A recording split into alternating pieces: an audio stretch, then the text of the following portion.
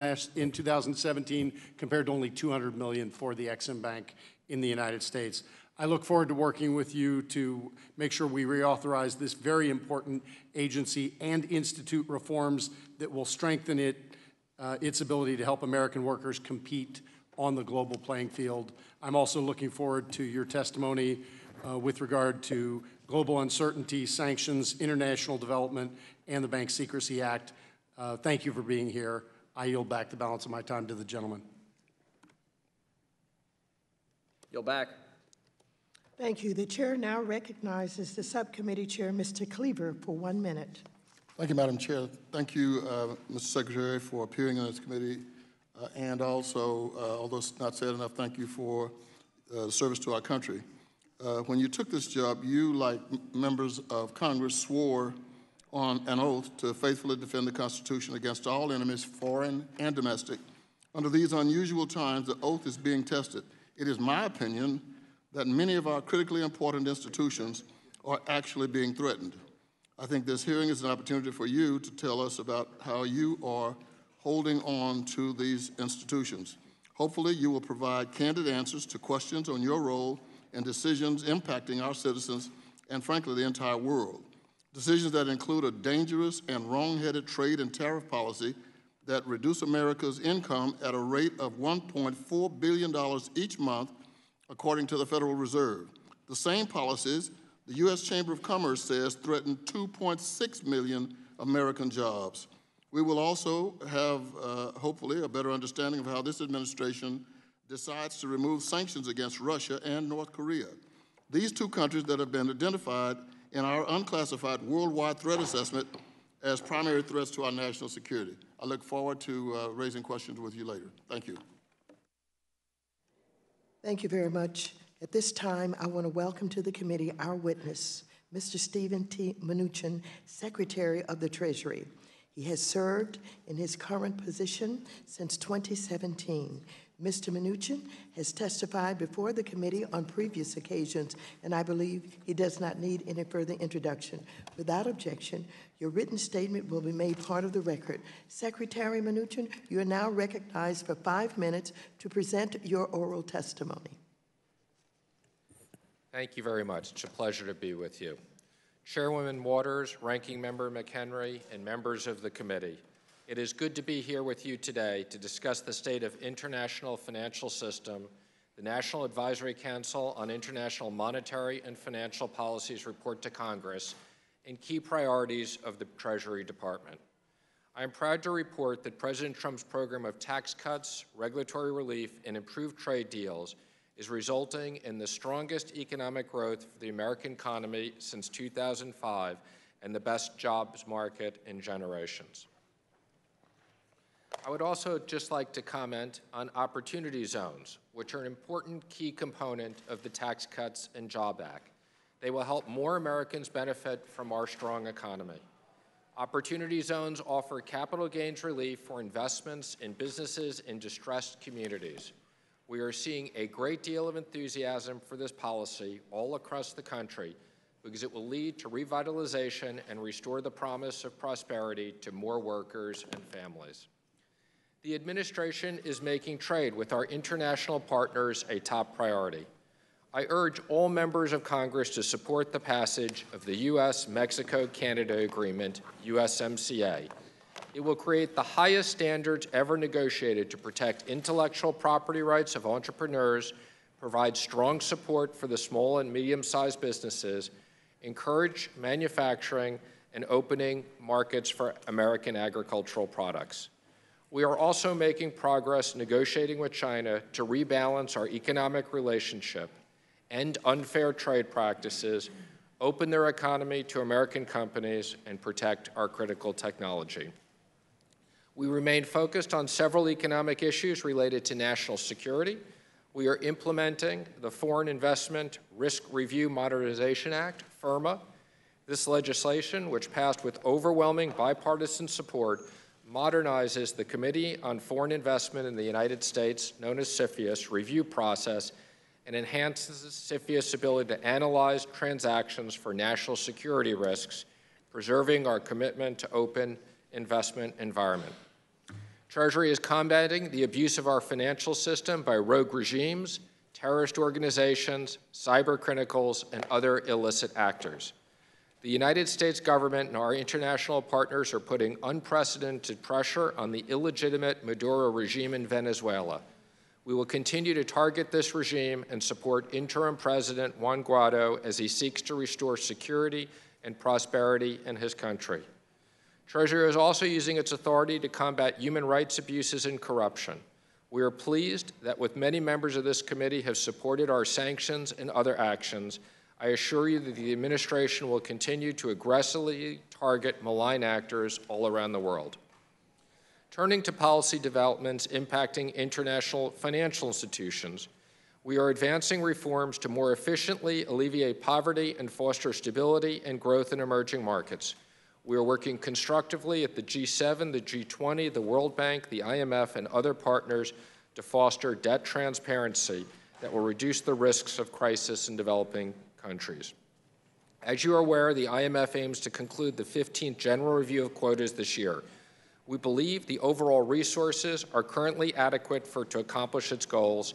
We are beginning discussions with other shareholders on this issue.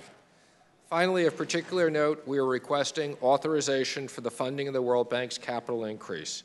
In connection with this, we successfully negotiated a comprehensive reform package, including lending measure limits and future need to limit future capital increase and focus resources on poorer countries. We are also requesting authorization for the planned share purchase in the North American Development Bank with the goal of working more closely with Mexico to improve economic conditions. I look forward to your questions and discussing ways to create more jobs and more opportunities for hardworking American families. Thank you very much. Thank you very much.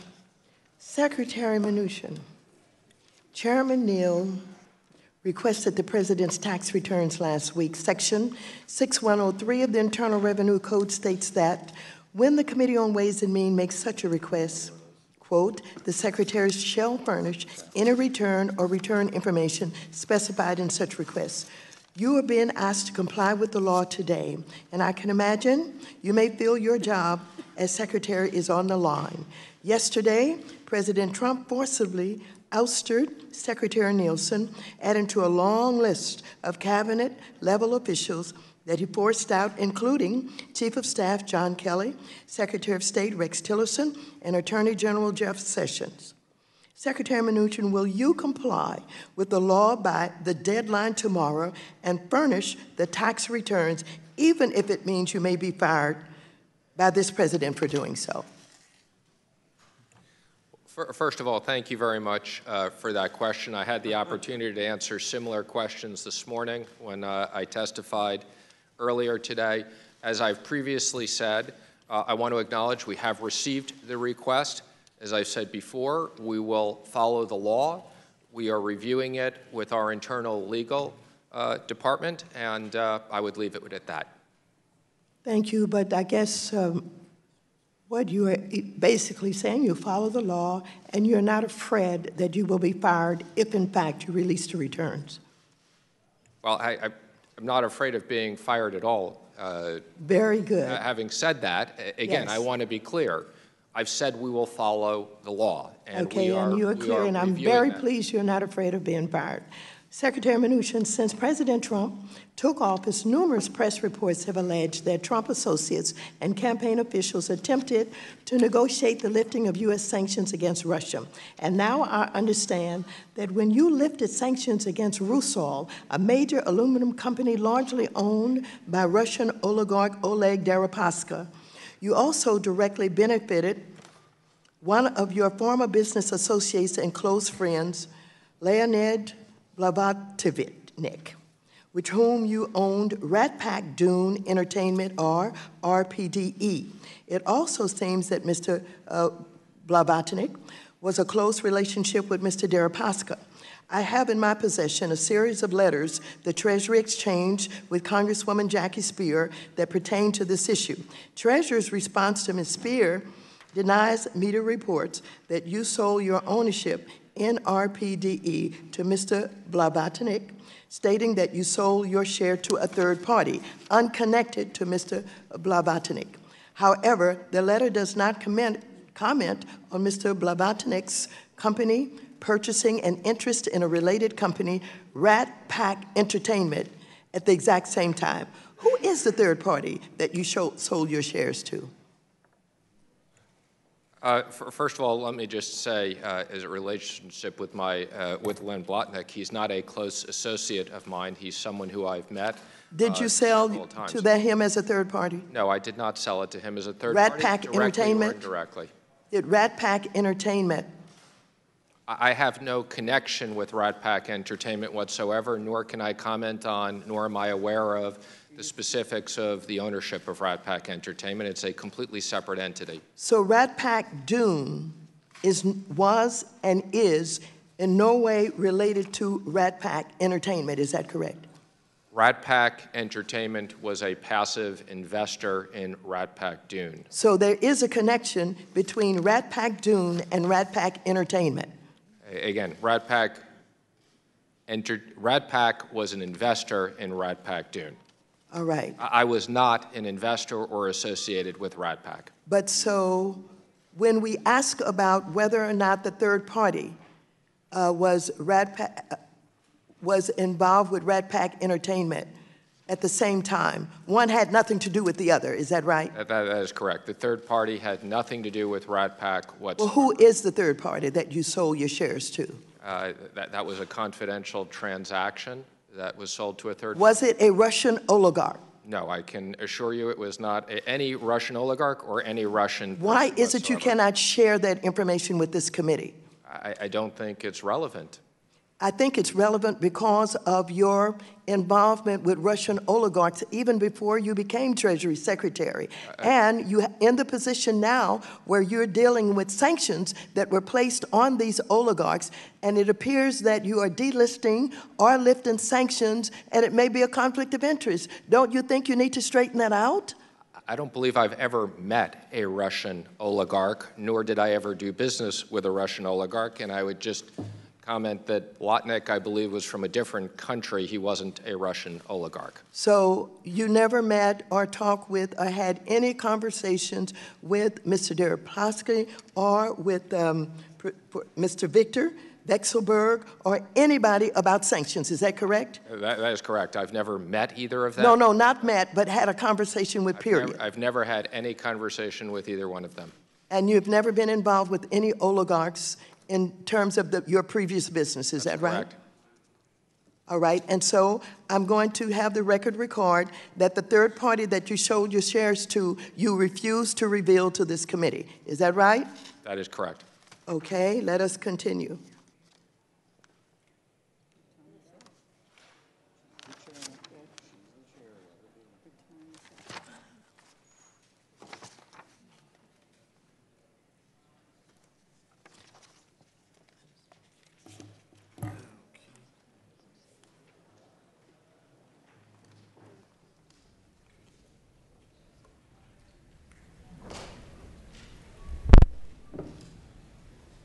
The gentleman from North Carolina, Ranking Member Mr. McHenry, is recognized for five minutes.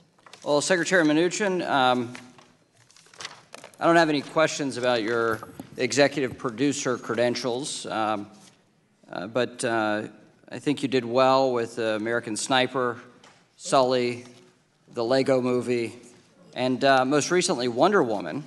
Uh, congratulations to you at your uh, box office success. Um, Actually, I thought it was much funnier, but the crowd apparently didn't. Um, so, um, thank you for your testimony. Um, as I alluded to in my opening, I wrote you this past January, in particular, about uh, Brexit. Um, in that letter, I referenced the Financial Stability Oversight um, Board's annual report and a number of outcomes related to Brexit that could uh, trigger distress. Um, so, would you describe what, what work you and other regulators have been doing with U.S. financial institutions, um, as well as regulators abroad, to prepare uh, appropriately for um, uh, disorderly Brexit? Sure. Well, let me, let me just comment. First of all, I think it's a surprise to many of us that we're sitting here today still waiting to see how this plays out. But uh, over the last year, and specifically over the last two months, I've been working very closely with FSOC and with the, the appropriate regulators to make sure that our financial institutions are prepared for a hard Brexit.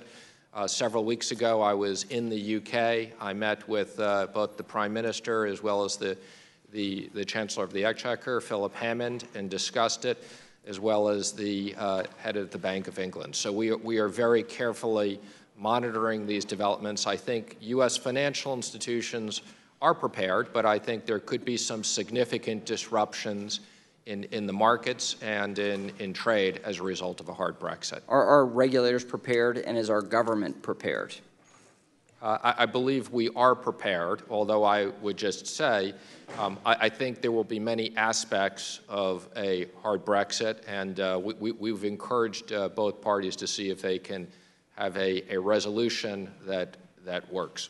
How does uh, this week's actions, yesterday and today's actions um, with the UK government and their conversations with the EU, how does that uh, relate to your, uh, your activities? Have you, have you heightened activities this week as a result? I haven't been privy to the conversations that have been going on uh, yesterday and the day before, but as I said, I've been actively involved with this for the over the last six months, and I think at this point, uh, we need to be prepared for a hard Brexit as a very realistic outcome. Okay. And so uh, with that mindset, uh, you are prepared on Friday uh, if there is a hard Brexit. Uh, As far as your footprint at Treasury, you've worked to to see that the- we've done all that we can do in preparation. That, that is correct, and we've coordinated with the Federal Reserve, the OCC, the FDIC, and the other appropriate regulators. So tomorrow, this committee is holding a hearing with the seven largest financial institutions here in the United States. Um, And from your perspective, um, would you describe, how would you describe the U.S. financial system currently, the current state? I think the U.S. financial system uh, broadly is very well capitalized, has de-risked significantly, uh, and, and is, uh, is in very good shape. So the known knowns are well provided for, They are, but the unknown unknowns are what we always worry about. and that is the nature of financial institutions. So some have described the, the banking environment as um, size equals survival. Uh, and as it relates to Dodd Frank, that has clearly been the case, where we have fewer small financial institutions because of the regulatory burden. Uh, can you describe the cost to the system of that regulatory burden?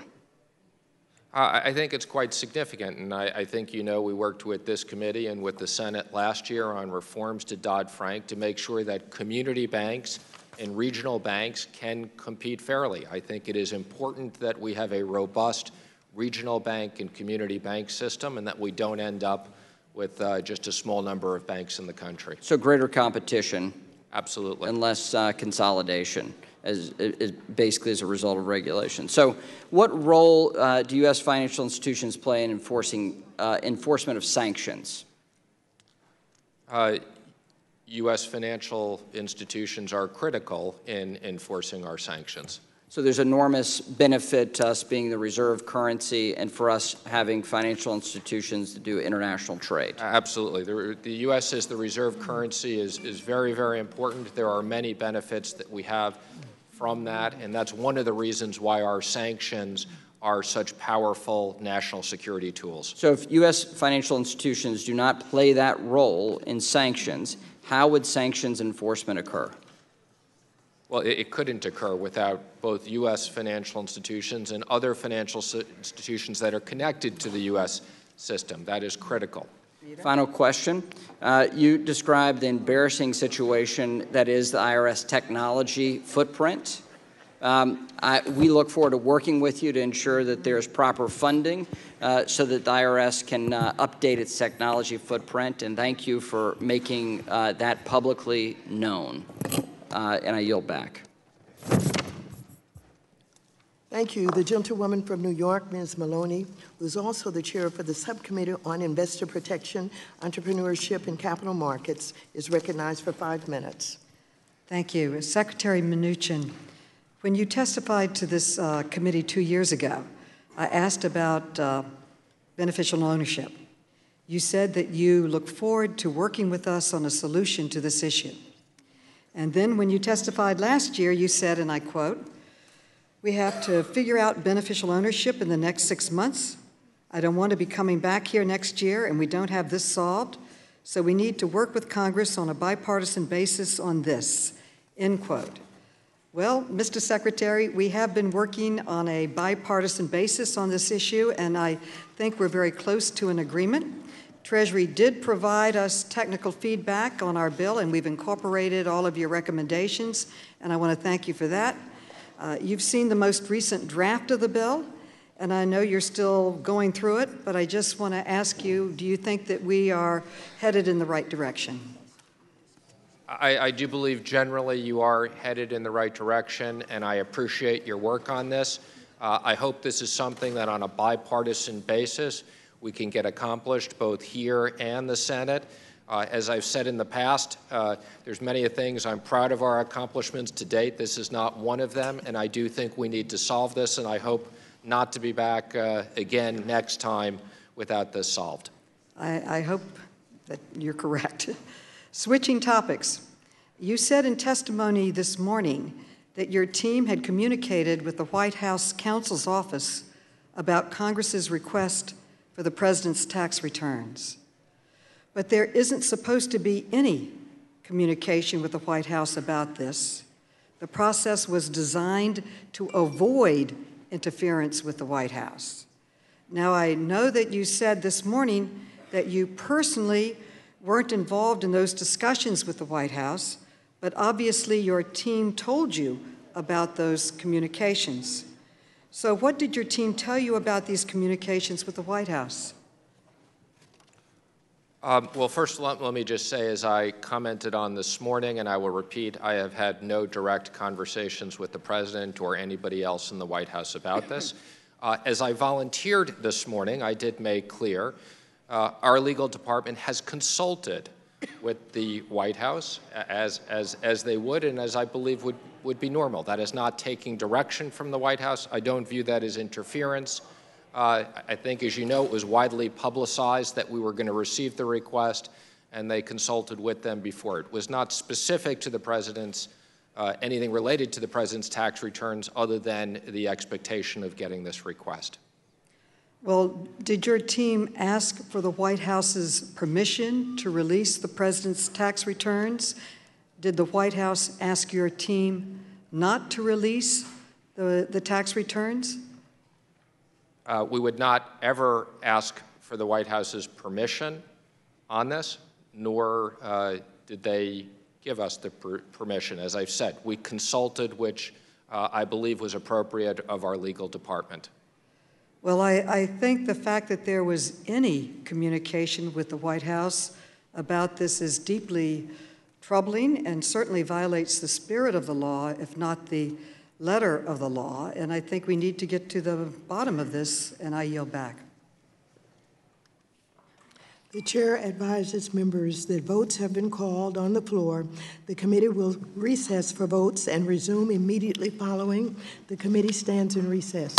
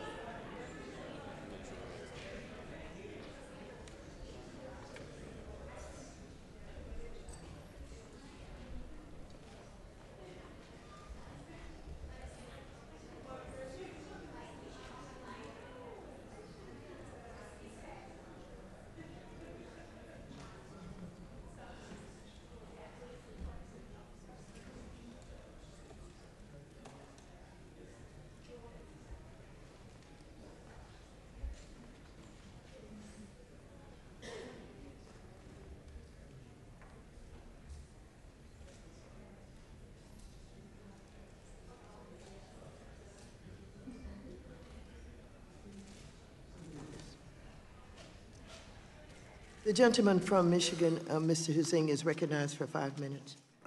Uh, I appreciate the chair's recognition, and uh, good to see you again, uh, Mr. Secretary. Um, I, I want to touch base uh, real quickly uh, on an international, a couple of international issues. One being Venezuela, and the other one I want to touch on Export-Import Bank, and we'll see if we can get to USMCA as well. But the United States, as you well know, as well as uh, major European countries, have recognized uh, um, Juan Guaido as the interim president of Venezuela. Um, but the IMF has yet to follow and do the same. And, and I'm, am curious about your thoughts on, on how could Congress uh, support additional resources for the IMF, let alone rescue Venezuela potentially, uh, if the fund disagrees with the latest or the largest shareholders uh, who, on who the legitimate leader of Venezuela currently is. Well, I, I don't think that the IMF necessarily disagrees. As a matter of fact, I was with Christine Lagarde yesterday and we discussed this issue. Um, th there are, the real issue is that we are focused on is what would it take to unlock IMF resources uh, to the interim government, and, and that's something we are constructively working with the IMF on. And I would say more importantly, um, we're very focused at the appropriate time of, uh, of, of the transition of both using IMF resources and World Bank resources to rebuild the country, that uh, the people of Venezuela are in desperate need of an economic recovery. A- And I, and I might add, they, uh, the people of Venezuela deserve better. Uh, They, uh, they deserve better than, uh, than the current regime, and, uh, uh, and I certainly am hoping that uh, uh, Mr. Guaido is, uh, is able to be recognized um, uh, permanently. And, uh, but any, any, any additional help you can give to, uh, to, to make that happen would be deeply appreciated.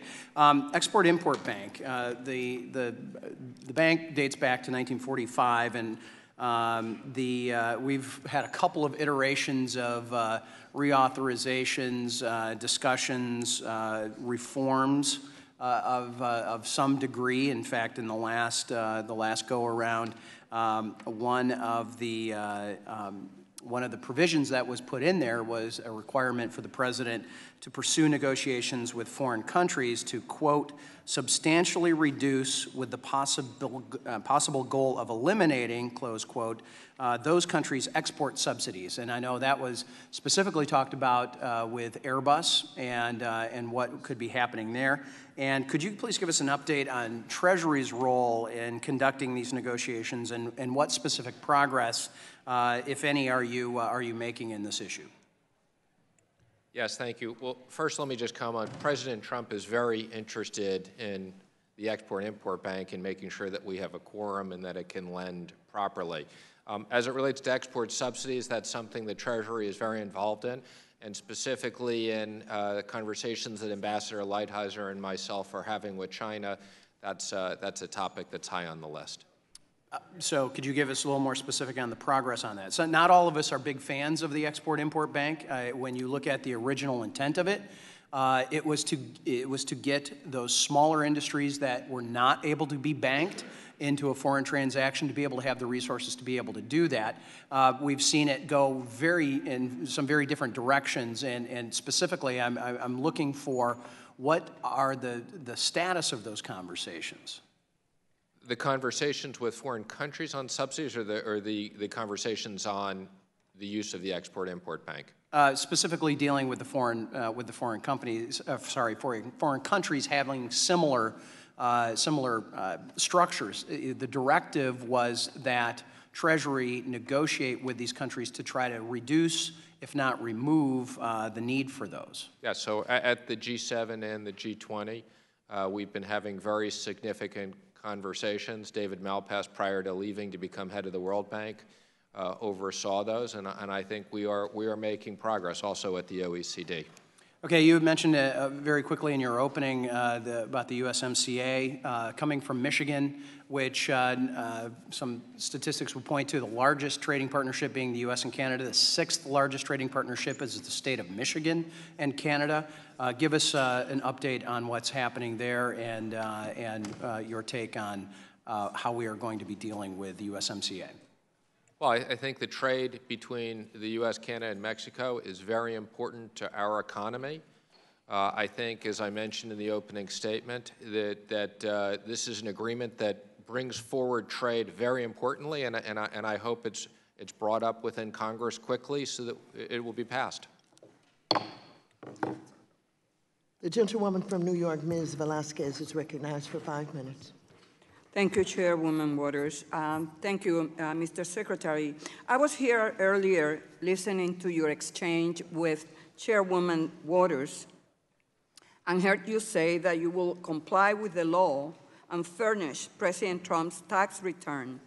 Um, But what I did not hear you say to the chairwoman was whether you were going to comply with Chairman Neal's uh, deadline of tomorrow.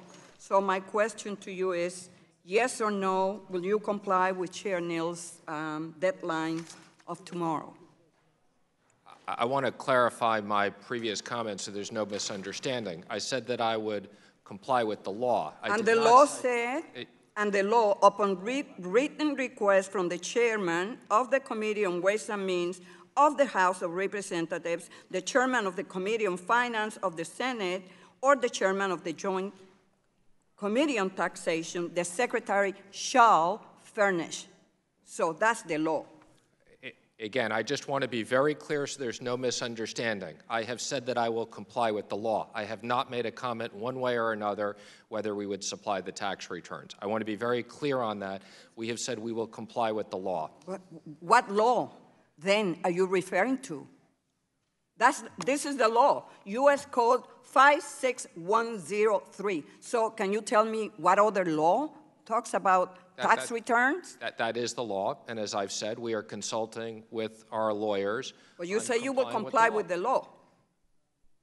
That is correct. Well, we'll, we'll see about tomorrow. Uh, Secretary Mnuchin, in early March, the U.S. officially hit the national debt ceiling, capping the debt at just over $22 trillion. According to the CBO report produced in February, the Treasury Department will exhaust its use of extraordinary measures sometime in late September or early October. Do you agree with the CBO's projection that the Treasury Department will exhaust its use of extraordinary measures sometime in the fall? I'm not going to give an exact date. Uh, There there are a lot of assumptions. Um, I think the more important issue is that I have written to Congress, and I would urge Congress on a bipartisan basis to pass the debt ceiling. Um, This is something that's very important to our national debt and our national credit, and I would hope that uh, this is not something that we'd be sitting here in late Thank you. summer still I hear you. Thank you. What will be the consequences, both domestically as well as internationally, of the U.S. defaulting on even some of its debt? I can't possibly imagine that anybody in Congress would ever want us to default on our debt. It, it would be quite disastrous. So do you think uh, the debt ceiling should be held hostage by any desire President Trump might have to fund his vanity war? The president has no interest in holding this hostage to any issue. The president has encouraged me, and I've reached out to both the Democrats and the Republicans uh, in, in discussions. The president would like to have this passed as, as soon as we can. Okay, thank you. Um, In the Treasury Department's budget request for FY 2020, you and President Trump choose to eliminate funding for the CDFI fund's discretionary grant and direct loan programs. Can you explain this decision and tell us how you think the communities served by these institutions will be impacted? Thank you. I, I had the opportunity to talk about this issue this morning at the Appropriations Subcommittee, so let me repeat this. Um, first of all, I want to acknowledge that I do think uh, this program serves many communities uh, in, a, in a significant way, that this was just a difficult decision looking at funding across multiple programs, how we've prioritized it, and if this committee uh, and, and other, if the, appro- if we have appropriations for that and that's Congress's desire, we shall properly administer the programs as they've been done in the past. You bet that it will, that money will be appropriated for the CDFI. Thank you. I yield back. The gentleman from Missouri, Mr. Luetkemeyer, is recognized for five minutes. Thank you, Madam Chair. Welcome this afternoon, Mr. Chair, uh, Secretary Mnuchin. Um, I know a while ago, uh, Ms. Maloney talked about beneficial ownership, and I just wanted to reiterate, I'm working with her on the bill. Looking forward to uh, working with you to make sure that we get what we need on that. Um, you know, I'm not really happy about codifying a rule. I wish the Treasury would, if we could take our bill and hand it to you and you would make those changes, it would certainly be better than us trying to codify it. But um, to date, we haven't been able to get that done, and so maybe this is the best way to handle it. I don't know. If you've got a comment on it, I'd appreciate a comment. Well, uh, uh, I I appreciate the bipartisan uh, views on this, and again, uh, there are specifics we need to work out, and we look forward to sitting down with you and others of the committee to try to get this done soon. I think it's an important If we could reach a bipartisan agreement, would- would you be willing to make those changes as a- through the rule process rather than us have to go legislatively? I think that's something we need to sit down and, and, and discuss with the committee. Okay, thank you. Um, As uh, Secretary of the Treasury, you also serve as Chair of FSOC. FSOC is tasked with identifying risks and responding to emerging threats to financial stability. In the past, FSOC has discussed the issue of CECL and many of the concerns around the standard. Um, In my opinion, uh, CECL affects numerous aspects of the economy and could have drastic pro-cyclical issues like mark-to-market, you know, we, in my discussions with uh, the FASB, they indicated they did not do any, any prior testing, any, any surveying, uh, did not do any uh, studying, and as a result, we're in the same situation with a rule I think could have as dramatic impact as what Mark to Market did whenever they didn't do the due diligence on that one either and had to pull it after the disaster of, of 08. So I'm very concerned about the effect it could have, especially on the GSEs and on, on the credit unions, who, if you look at them having to build up reserves, the only way for them to find the income to build up those reserves and, and keep them there is through raising the fees on loans. We had in this committee back in December the Home Builders Association, which said for every thousand dollars increase on a home loan, 100,000 people no longer have access to, to credit or to be able to buy or build a home. That is dramatic. That's going to have a tremendous effect on the economy if it would have that level of, of cost. They're both doing studies right now to find that out, and we're hopeful that FASB will put a pause on this until we can study this, because they didn't. And they need, we need to have these industries study it to make sure we get that done. Would you support something like that? Um, th- This is an issue we are are closely studying. Uh, We look forward to speaking to you and following up on this, and it is something we are discussing very closely at FSOC. And since you've mentioned GSEs, uh, I I do hope that's an area that we can work on on a bipartisan basis for GSE reforms. Well, my concern is that the GSEs are going to have to come up with billions of dollars and to put in their reserves. You know, when you got a $5 trillion portfolio, just a back of the envelope analysis of a, of a 2% reserve, you're at $100 billion, and they're nowhere near that. So I don't know how they're going to raise the money, quite frankly, unless they raise G fees, which that's going to have a dramatic effect on the economy. And same thing with credit unions. So my concern is I hope that you know, the regulators and a lot of folks who are involved in, in, in, in economic policy take into consideration what's going on with CECL. We'll work to try and find a way to get FASB to pause on this so we can study it to make sure we know what the effects of this are going to be before we implement this rule and don't have the same disastrous results that we did with, um, with uh, mark to market. So I appreciate your concern and, and working on that with us. Um, one of the things I saw about uh, last week or week before last in the Wall Street Journal, there was a, a chart on the front page that talked about the value of European banks versus the value of American banks. It was kind of interesting because European banks were 70%, the, the market value was 70% of their book value, and American banks were 1.09 or roughly 10% above book value, which tells me that our banks are in good shape. I think that's, uh, that's great, got a good, strong economy, but also tells you the European banks are in trouble. Uh, whenever they're valued at 70% of what their book value is, it tells you either the bank's in trouble, the economy in trouble, trouble or both, and that's not good. Um, so I think, you know, um, you mentioned a while ago, and I think uh, the, um, the ranking member talked about Brexit. Uh, with that in mind, with these, with the weakness of the, in my mind, and just splashed on the front page of the journal there, how do you see this playing out? Do you see this as a concern? Do you see this uh, Brexit going to be able to, to work this thing out and the bank's going to recover? Is that rating a, a result of Brexit, or is that just a rating of some other weaknesses in the economy and the banking system?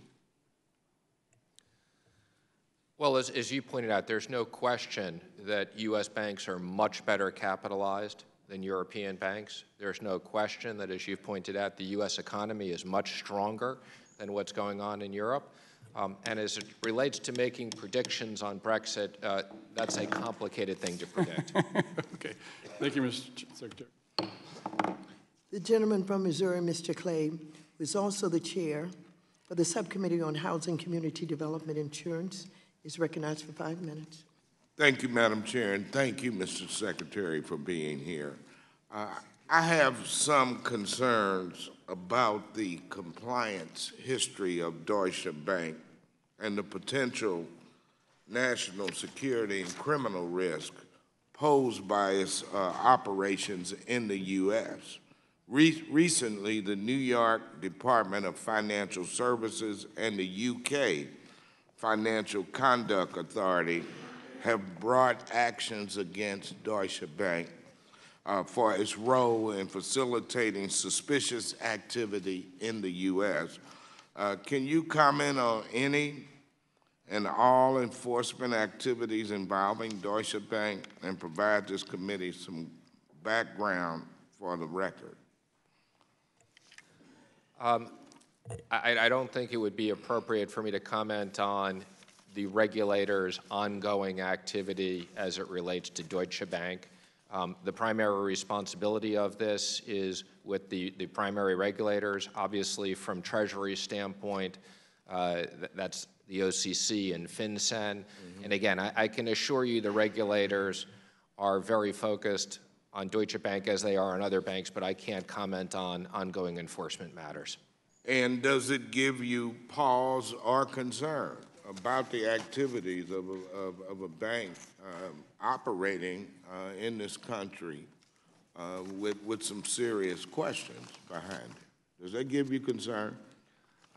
I want to be careful as secretary what I say, but I have a lot of confidence in our regulators and then being on top of these issues. And I would say as a general matter, not specific to Deutsche Bank, the issues that you talk about we take very seriously, and uh, I discuss with the financial regulators regularly. Thank you for that response. When you testified before our committee last July, you stated that at, at this time, the United States finds the IMF's resources are adequate following the 2016 implementation of the 2010 Quota and Governance Reform Package.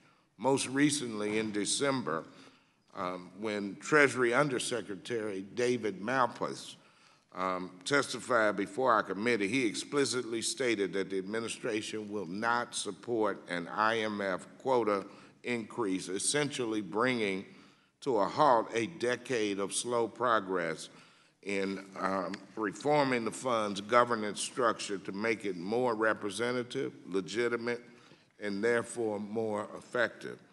Uh, this will seem short-sighted to some as it allows Japan and Europe to maintain its overweight voting power, and of course, none of this will be lost on China or other underrepresented emerging markets. Are you concerned that the administration's rejection of any possible reform of voting shares at the fund could alienate China and other emerging markets, which in turn might cause them to drift away from the multilateral institutions and increasingly towards regionalism?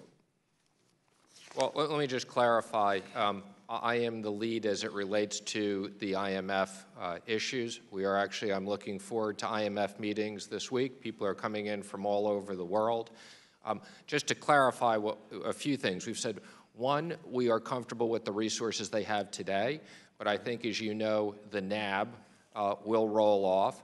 Uh, Two, we've said uh, we don't support an increase in quotas, but we are in ongoing discussions with the IMF and the other shareholders about what we do to support the balance sheet. And I think the United States leadership at the IMF as the largest shareholder is very important to us. What about the governance structure? The governance is also very important, and as part of any ongoing issue, governance and reforms are high on the priority list, just as they've been with the World Bank. I see. And um, a couple of years ago, the Chinese yuan joined the U.S. dollar, the euro, the yen, and the British pound in the IMF special drawing rights uh, basket, which determines currencies that countries can receive as part of IMF fund uh, loans. Uh, by joining this elite grouping, China certainly doesn't appear to be a developing nation. Uh, if an American from St. Louis wanted to invest in China, could they have full confidence in the Chinese banking system?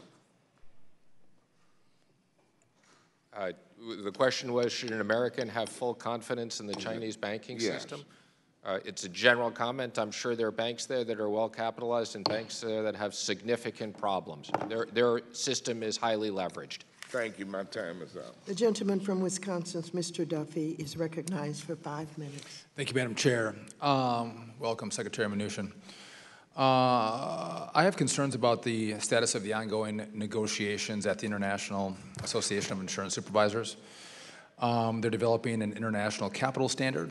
I would note that uh, Randy Quarles uh, gave a speech in January and stated that um, the ICS, quote, "may not be optimal for the United States insurance markets," uh, obviously expressing some concern about uh, this negotiation.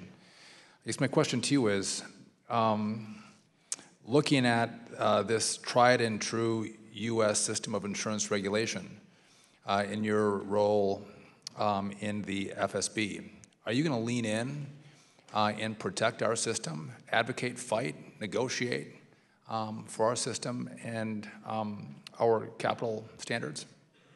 Of course, Are you doing that? yes, Are you respected? I imagine you are. You're pretty well respected. yes. Yeah, so I manage, if you and, and Mr. Quarles lean into this, we should get a, a better result than what we're hearing from the speech from Mr. Quarles, right? I would hope so. So would I. Okay, great, thank you. Um, let's talk FedWire. Um, obviously, it, it uh, uh, moves over $600 billion a day um, in payments. And last week, FedWire went down and was completely non operational for more than three hours. Were you briefed by the Federal Reserve about? I was. And um, can you tell us what happened? I mean, that's a, that three hours concerning. Um, First of all, I would just say I was completely abreast of it real time. Uh, The chair and I were speaking real time on this issue. Uh, We had, uh, the Fed had backup plans that I was comfortable with. I think it would be inappropriate in a public forum like this for me to comment on the specifics, but I, I am happy Did to the backup follow up not with you. work? Excuse me? Did the backup not work because it was down for three hours? again, I, I, I want to be careful. I'm more than happy to come and talk to Okay. you in a different setting. I will say I have complete confidence in the FedWire system. I was fully aware of the specifics of what were going on. Um, it, it, we were completely on top of it. Okay, I'd, I'd appreciate a further conversation in a different setting. Um, are you a lawyer? I am not, but I deal with a lot of lawyers. I'm sorry about that. Um, so I, I don't know if you have an opinion as to, maybe you know this, is, is a presidential candidate or a president required to release their tax returns? I do not believe they are. And it's been common practice oftentimes that they will release their tax returns, but they're not required. Is that your understanding? I believe that's the case. And I actually agree with that practice. I, I have said publicly, I think that President Trump should release his tax returns. That'd be a good thing. Um, but the president's chosen not to release his tax returns. I I think you're going to get a lot more questions today about taxes. Um, and I would just note that um, to walk down a political road where we're going to uh, use the chairman of Ways and Means and the power given to the chair for political purposes to gain the tax returns of our political opponents. Um, we know that when one action is taken, it oftentimes doesn't stop. I don't know if anyone in this room wants to have their taxes released. I don't know um, if Hillary and Bill want theirs released and Obama want his. We, we could play this game out. Um, and I guess this is for no investigative purpose. We heard for um, two years that Bob Mueller has to be protected. Bob Mueller is the gold standard. Don't cut his money. You make sure that you protect him and let him do his work. And he did his work. We got a synopsis, and it's not over. We continue to have debate about, well, there might be something in the report. Maybe we have to get the re- actual report out, regardless of what is um, uh, confidential, what's from investigations.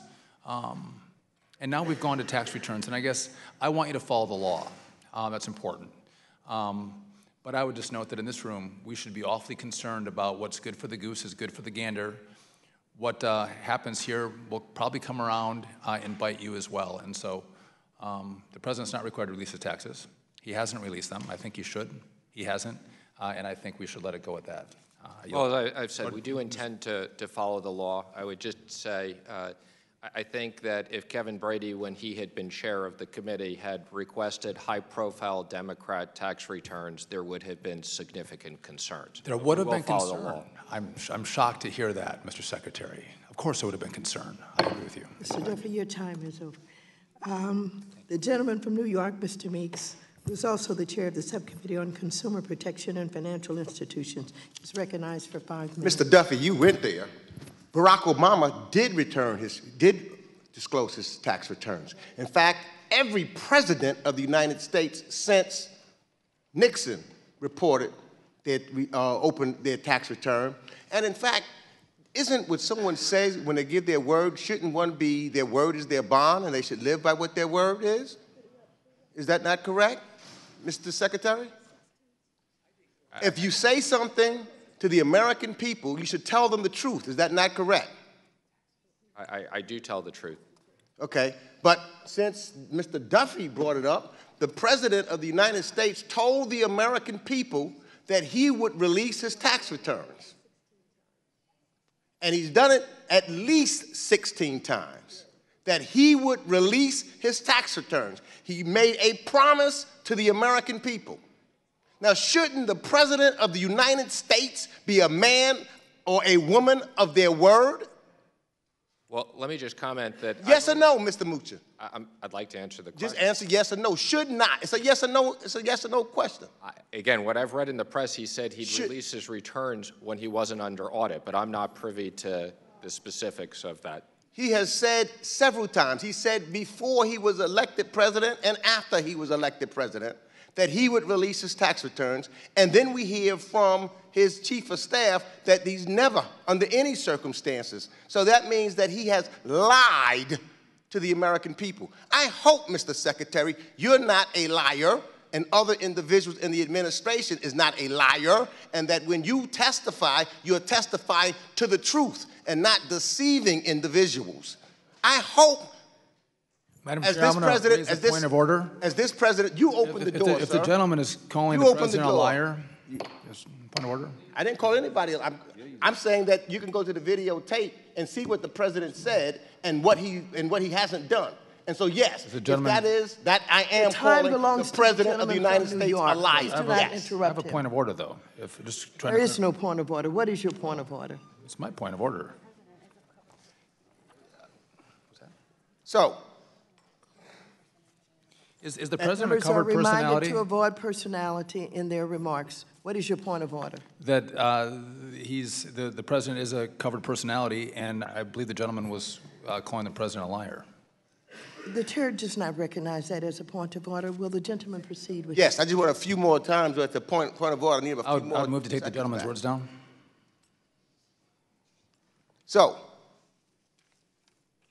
what I am saying, Mr. Secretary, is that the American people listens to what someone when they make a statement and make a commitment to the American people of whether or not they live up to it or not. And I am also stating that I'm hoping that individuals of the administration do the same because there have been reports already that the president yesterday were telling individuals to disobey the law in regards to the security, uh, the, the border line, and telling officers don't listen to the judges. Now, I came here with a whole other series of questions that I wanted to ask, but Mr. Duffy went there because I wanted to know some other things that are important to the American people. And now I'm, he's raised my concerns because, you know, generally what happens at the top goes all the way down. And with all of the individuals that were fired yesterday, uh, some because they're trying to tell the president to follow the law, and then the president would not follow the law, then it gives me concern. And I think that's why the chairwoman asked you, are you concerned about your job? Because it seems that those individuals within the administration who follows the law and may tell the truth and not try to deceive individuals, you know, some kind of way the administration or the president seems to want to fire them. And that was the, the, the nature of her initial questions uh, that she had with you. And I've almost lost all of my time, so I'll just ask one question. Uh, I wanted to ask about, uh, uh, talk about leverage lending and things of that nature, which is important, but I don't have that kind of time. So let me ask you this. Slapping tariffs on our allies have made for tough negotiations. Do you believe those tariffs have been overly disruptive? And how do they serve our purpose when it comes to negotiating with Mexico and Canada? Because it seems to me that they don't. Well, I'm, I'm very pleased with the agreement we have with Mexico and Canada, and I will tell you, as it relates to China, the tariffs have been effective in getting China to the negotiating table. And I know you ran out of time, but let me just comment on leverage lending since you brought that up. Uh, Chair, would, would you like me to comment on? I, I The won't. gentleman from Ohio, Mr. Stivers, is recognized for five minutes. Thank you, Madam Chair. I'm over here, Mr. Secretary. Thanks for being here today. Um, So um, uh, Ambassador Lighthizer uh, testified in front of the Ways and Means Committee recently and said that it's really important to reauthorize the Export-Import Bank because it supports American jobs and American exports. Do you agree with Ambassador Lighthizer's assessment? I do. Great. Uh, And we look forward to working with you on a bipartisan basis to uh, reauthorize the Export-Import Bank and make important reforms to make sure that it has um, all the, um, um, you know, uh, safeguards that need to be in place for the taxpayers and, and to make sure that it is running effectively. But uh, I really appreciate uh, your thoughts and opinions on that. Um, I said I wanted to talk to you a little bit about uh, suspicious activity reports, and you, you're in charge of the Financial Crimes Enforcement Network, FinCEN, that collects suspicious activity reports, SARs. Um, and almost a million of those were filed last year by financial institutions. Many times that happens without a feedback loop to the financial institutions to help them be better at preparing and knowing what was good information, what was bad information. Um, and it seems to me that might, there might be a better way to conduct SARs, even if we don't change the reporting threshold, just getting the information and making it more useful in a central database or, or some type of way where it's queryable by the folks that need it. Uh, are you working on anything to make those more effective?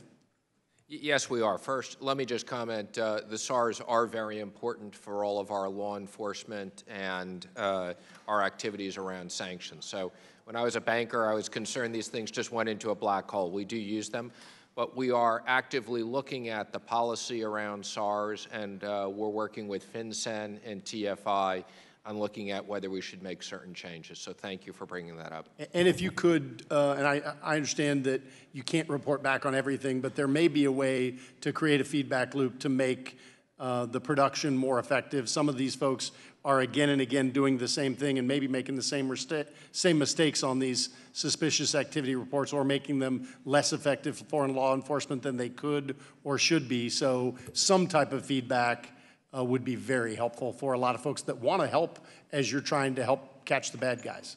Thank you. Thank you. Uh, Finally, I wanted to uh, touch something that I know some other people have talked about. Uh, Tomorrow, there's going to be a hearing with seven of the large uh, financial uh, banks in America.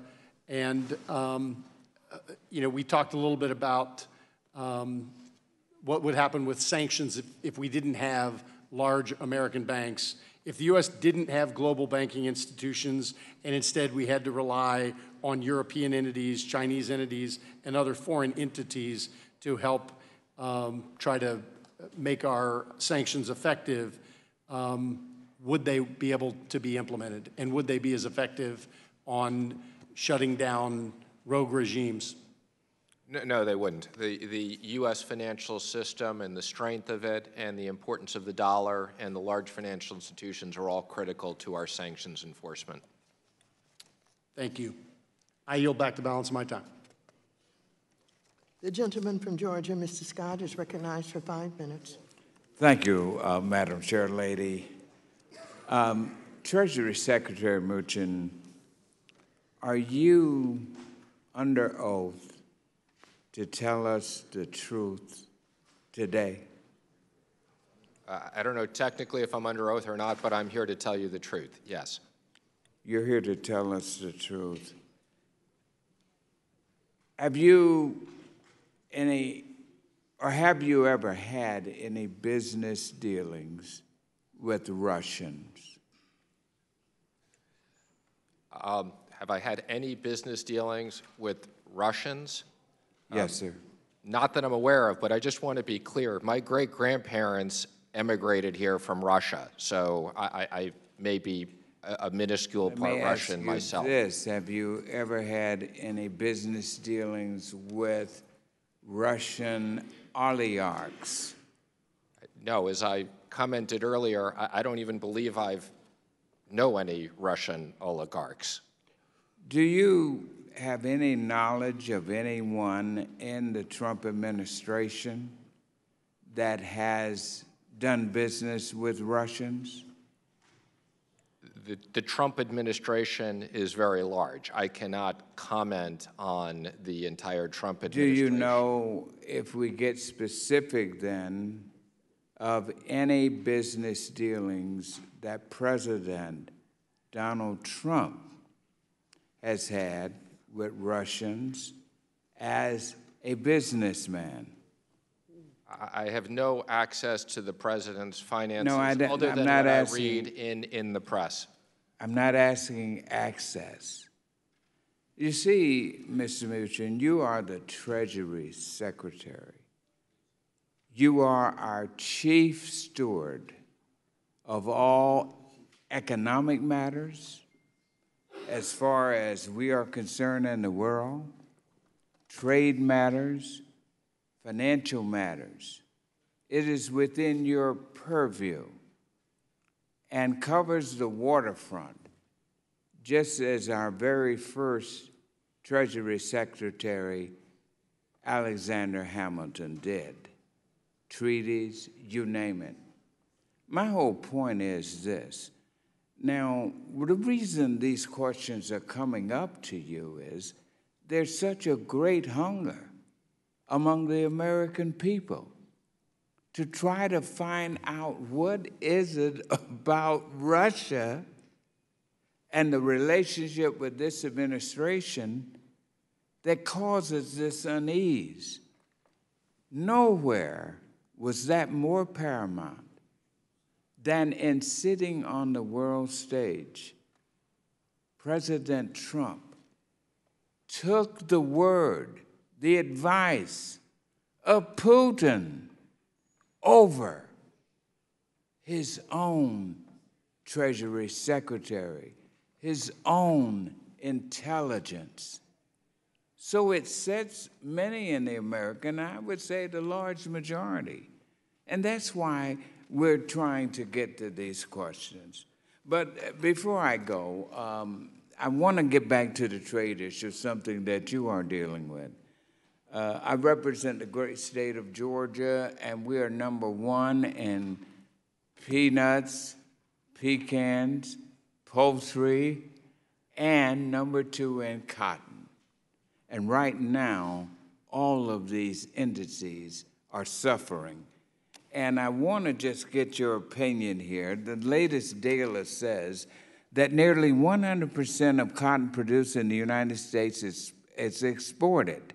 U.S. cotton and cotton yarns are subject to an additional 25% tariff in China due to the trade dispute. Georgia makes one third of all the pecans produces in the nation. Half of those go to China. 25%. Where, where is this coming to? And you just made a statement that China's resolved. How so? when my people in Georgia, my farmers and producers, are just hanging on by their fingernails because of this trade situation. What can you tell me to tell my farmers in Georgia? I- I wanna- and- I, I want to just make two quick statements. First of all, I don't believe that the president listened to Putin over me, okay, or am I aware hi- his intelligence. On the farmers, I can assure you I am working very hard on the China deal, and agriculture is a very important part of that, so I appreciate that.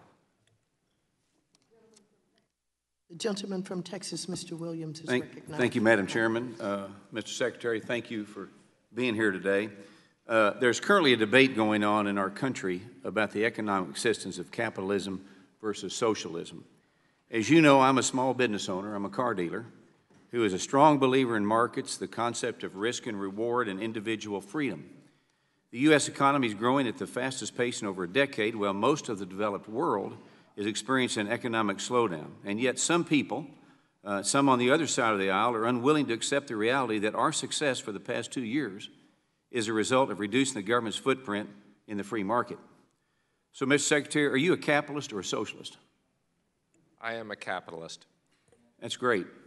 And what effect would it have on GDP and the U.S. economy if we begin to turn away from free market principles and take a more socialist approach? I, I think it would be disastrous for the economy, and every single country that's pursued those economic goals uh, has deteriorated significantly, Uh, Venezuela, Cuba, just to name a few. and many more. Yep. Uh, the economy's booming because the tax cuts that were enacted last year are simply working. Unleashing the power of the private sector has led to an increased capital investments, more job opportunities, and higher wages for workers. These are all very positive outcomes in the short term, and these uh, capital investments will continue to pay dividends into the future. With that being said, we should not get complacent. What do you see as the biggest obstacle holding back the economy from even higher growth? I, I think the good news is the, the economy is in very good shape. I think that uh, clearly the, the world economy has slowed down. That's having some impact. I think getting our trade agreements renegotiated is probably the single most important issue for the economy, and that's why it's such a big priority of this administration at the moment. Last week, the Texas bankers visited my office and talked about the Bank Secrecy Act.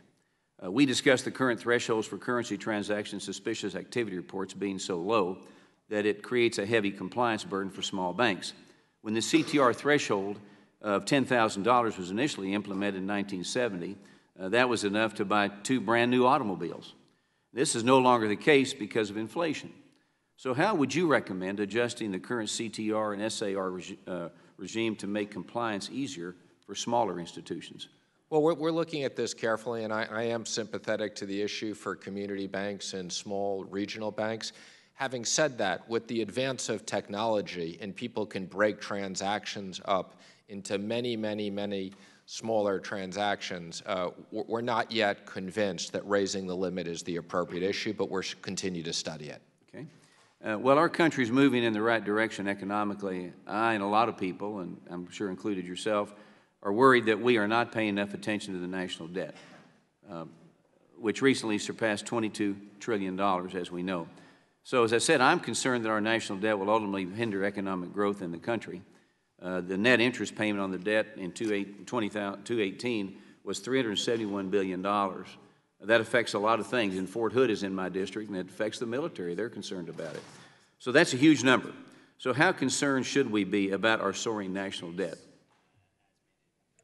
I'm glad you brought it up. I, I think the debt is something that has doubled uh, in, in the previous administration. I think it's something that we have to be careful and watch government spending. That's why the, the president is trying to look at decrease in government spending. The most important issue is growth. I'm comfortable that we can support the national debt as a percentage of GDP as it is now, but we need to be on a pathway to, to make sure that uh, the deficits don't continue to balloon and that government spending is not out of control.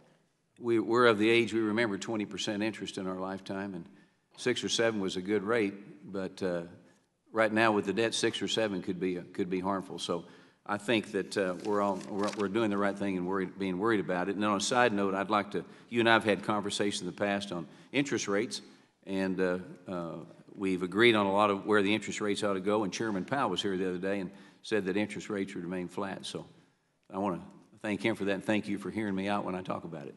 I yield my time back, Madam Chairman. Thank you very much. The gentleman from Missouri, Mr. Cleaver, who is also the chair of the Subcommittee on National Security, International Development, and Monetary Policy, is, is recognized for five minutes. Thank you, thank you, Madam Chair.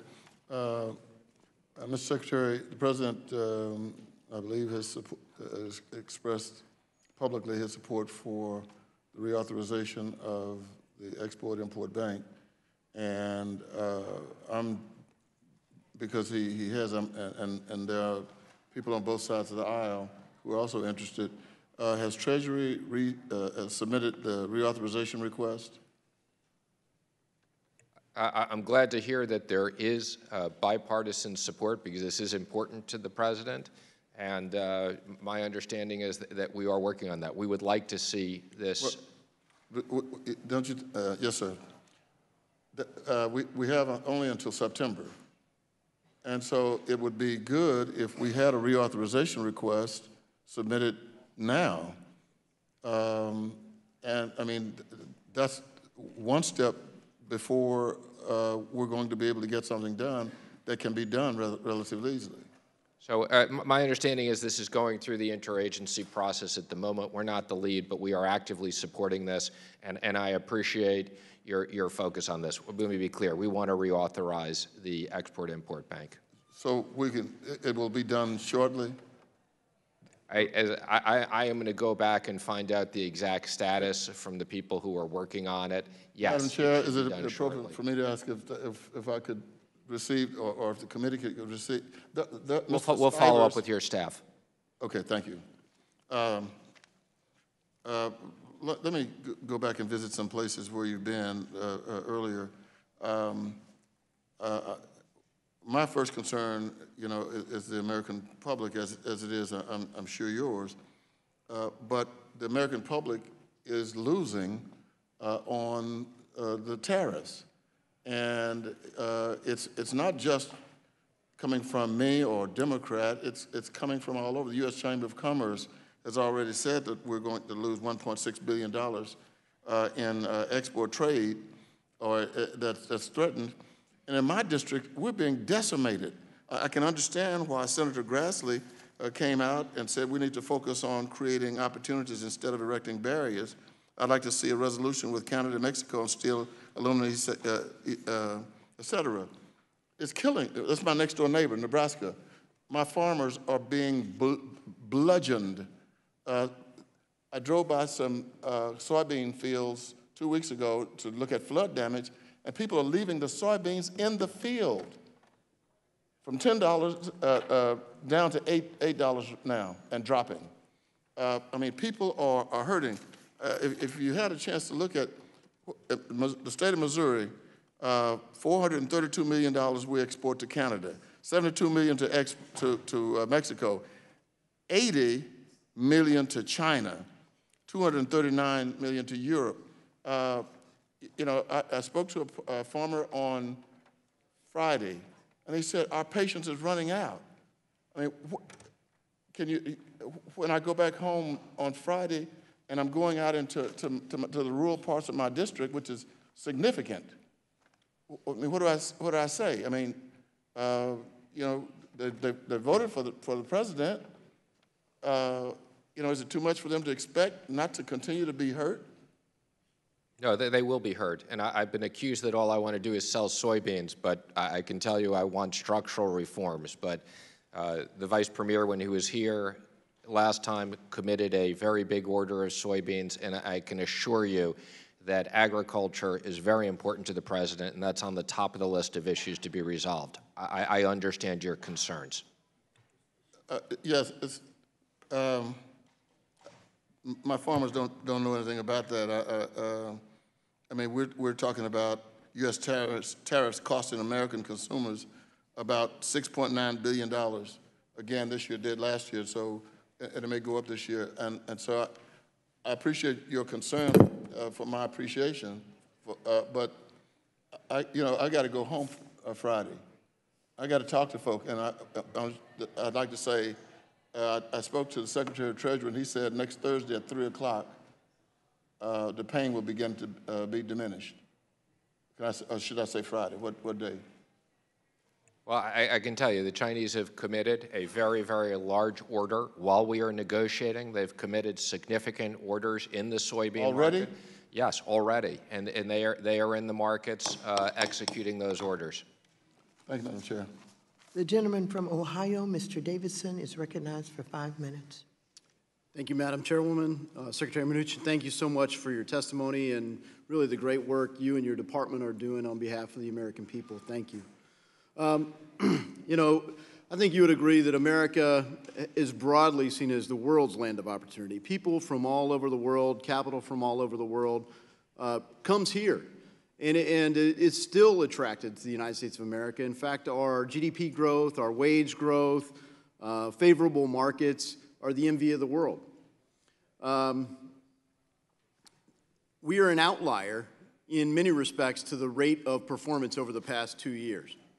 And one of the areas that I get concerned at is, is in the midst of all that, why are some things not quite working? America is still the most innovative country in the world, but when I see American innovators taking their innovation and raising the capital for that innovation outside the United States, something seems to be broken. What's wrong with our markets that this would happen?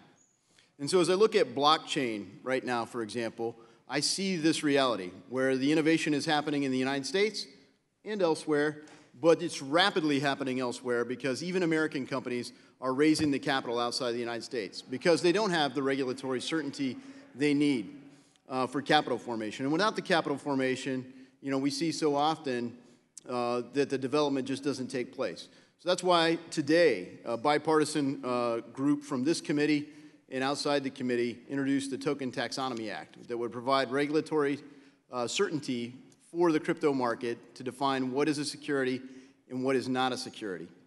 But are you following the developments in blockchain and the, um, you know, just the dynamic impact that could have, uh, not just for capital formation, but for security, for the frameworks that we have uh, for data security? Uh, uh, Premier Xi Jinping, uh, maybe with hyperbole, said that he believes that the blockchain will be 10 times more significant than the internet.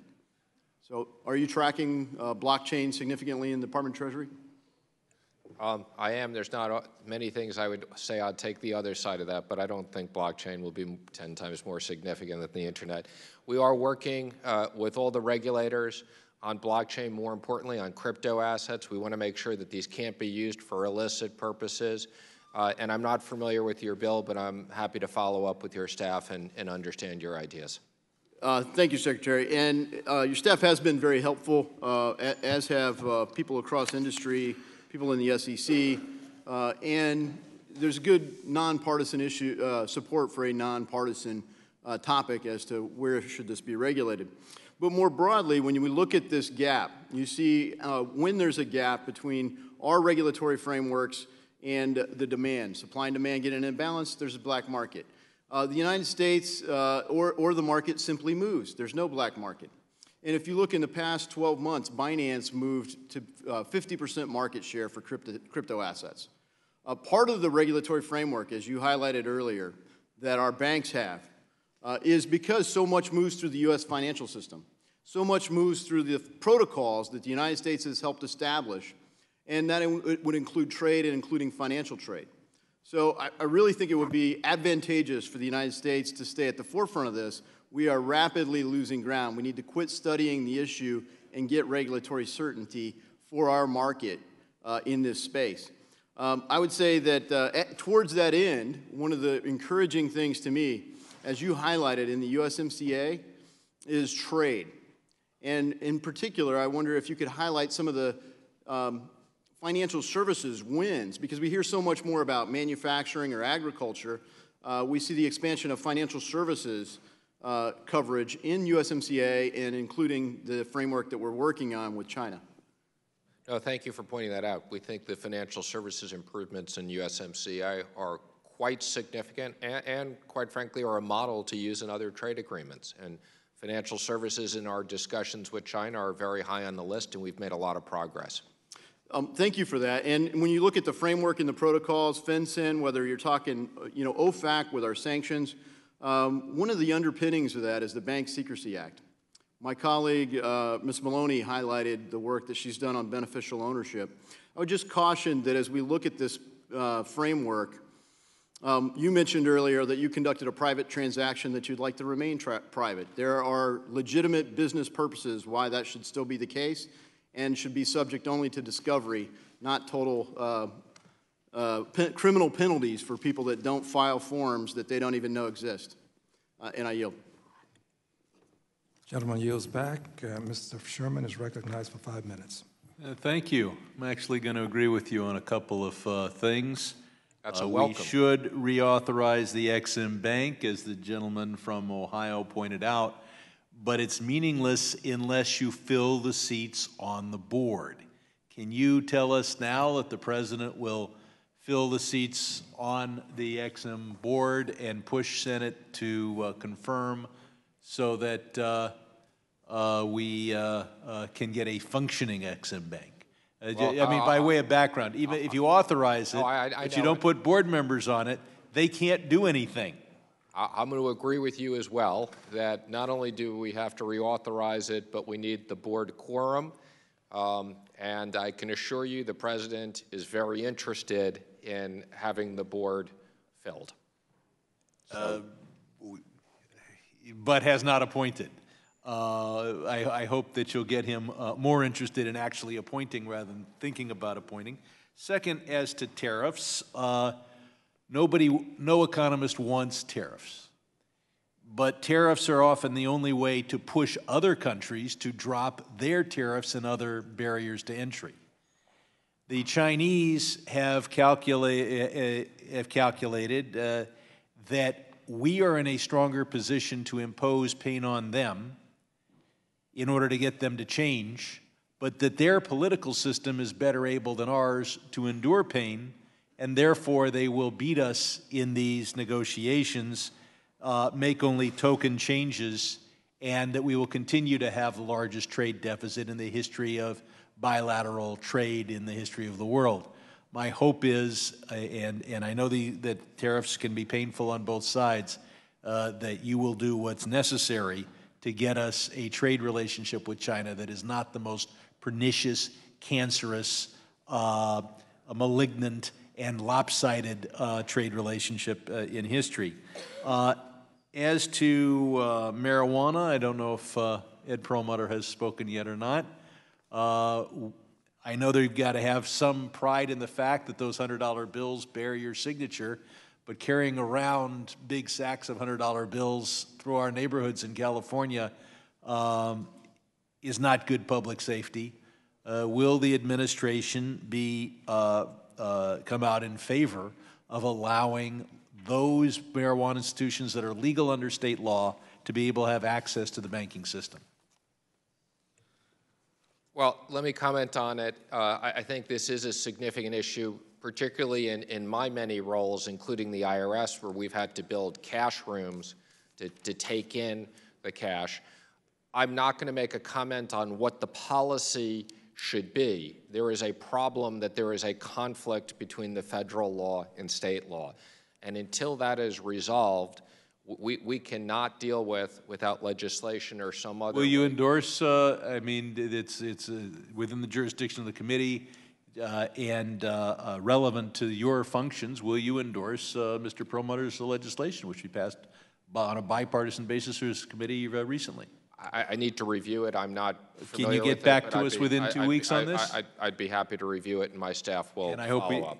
And then uh, uh, on the Exim Bank, the pressure has got to be not so much to appoint, but to get McConnell to confirm.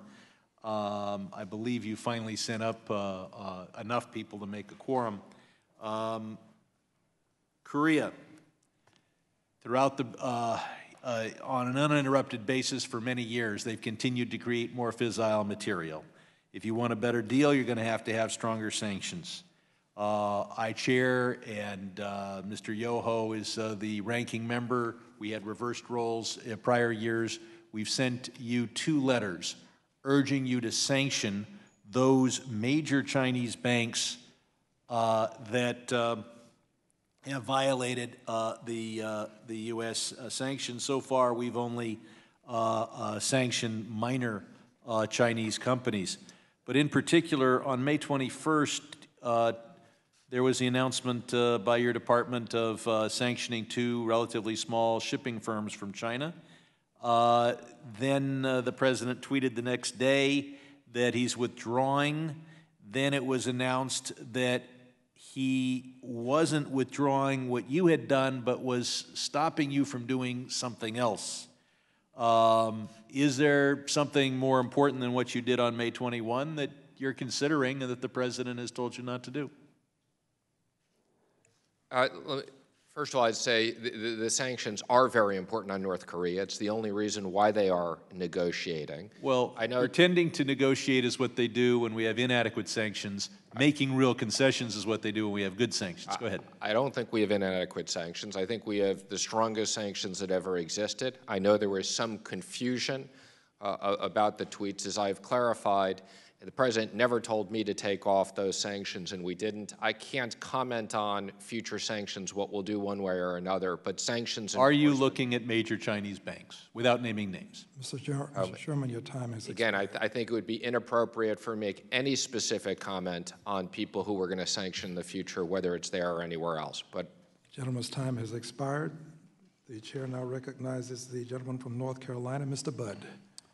I thank the chair for yielding. So, uh, Mr. Secretary, also thank you for, uh, for being here. I want to follow up on uh, my colleague from uh, Wisconsin, Mr. Duffy, uh, what he mentioned on the topic of international insurance regulations. So if the IAIS, or the International Association of Insurance Supervisors, refuses to do what my colleague from Wisconsin asked, and provided the U.S. system formal recognition of this upcoming Abu Dhabi meeting, Will you be willing, you, Mr. Secretary, would you be willing to force the IAIS to delay the adoption of the international capital standards to a later date where they will recognize the U.S. system and our aggregated capital approaches being developed by both the state insurance commissioners, all 50 states, and the Federal Reserve? And, and here's why I'm asking this question background. It's, so it's critical that the U.S. insurance companies are provided the same or some regulatory certainty and that they don't have to spend the next five years, which, by the way, is the time of the ICS monitoring and testing period. They don't have to spend the next five years wanting to know if the U.S. regulatory system will be sufficient for the IAIS. So, will you agree to either make the IAS uh, publicly and formally recognize the U.S. system at that Abu Dhabi meeting, um, or delay the adoption uh, to a later date? I, I want to be careful making a public commitment on this, but I'm happy to speak to your office and we'll follow up. I can assure you that we are focused on and in favor of the U.S. system, which is critical to our insurance companies. That's, that's very helpful. It sounded like you were willing to, and I, I don't want to put you in a corner on this. I understand the, the sensitivity here. But it sounded when you were talking with my colleague that you would like to make that sort of commitment. And uh, how certain are you that we can give some certainty to our state based uh, insurance companies? Of how, how certain are you that you can give them some future certainty? We, we always want to have regulatory certainty. That, that's critical, and this is an issue we're focused on. So I look forward to following up with your office on this as we make progress quickly. Thank you for that. So another concern I have with these international negotiations involves FIO, or the Federal Insurance Office. So under the Trump administration, we've seen the office stay really within its bounds and has not acted like an insurance regulator, which is good. But I've got serious concerns about the office being involved in overseas negotiations and even more concern about what the office could look like under a future administration. Uh, for example, under the previous administration, the office went down the road of performing activities like involving or, or issuing arbitrary and inaccurate reports, commenting negatively on the domestic insurance industry, initiating duplicative and unnecessary data calls, and acting like a quasi-regulator via the use of its uh, very powerful subpoena authority. So, Mr. Secretary, how does the current administration view the role for the office? And would you agree with me that it's important to put regulatory bounds on the FIO going forward to prevent what happened during the previous administration, or even worse?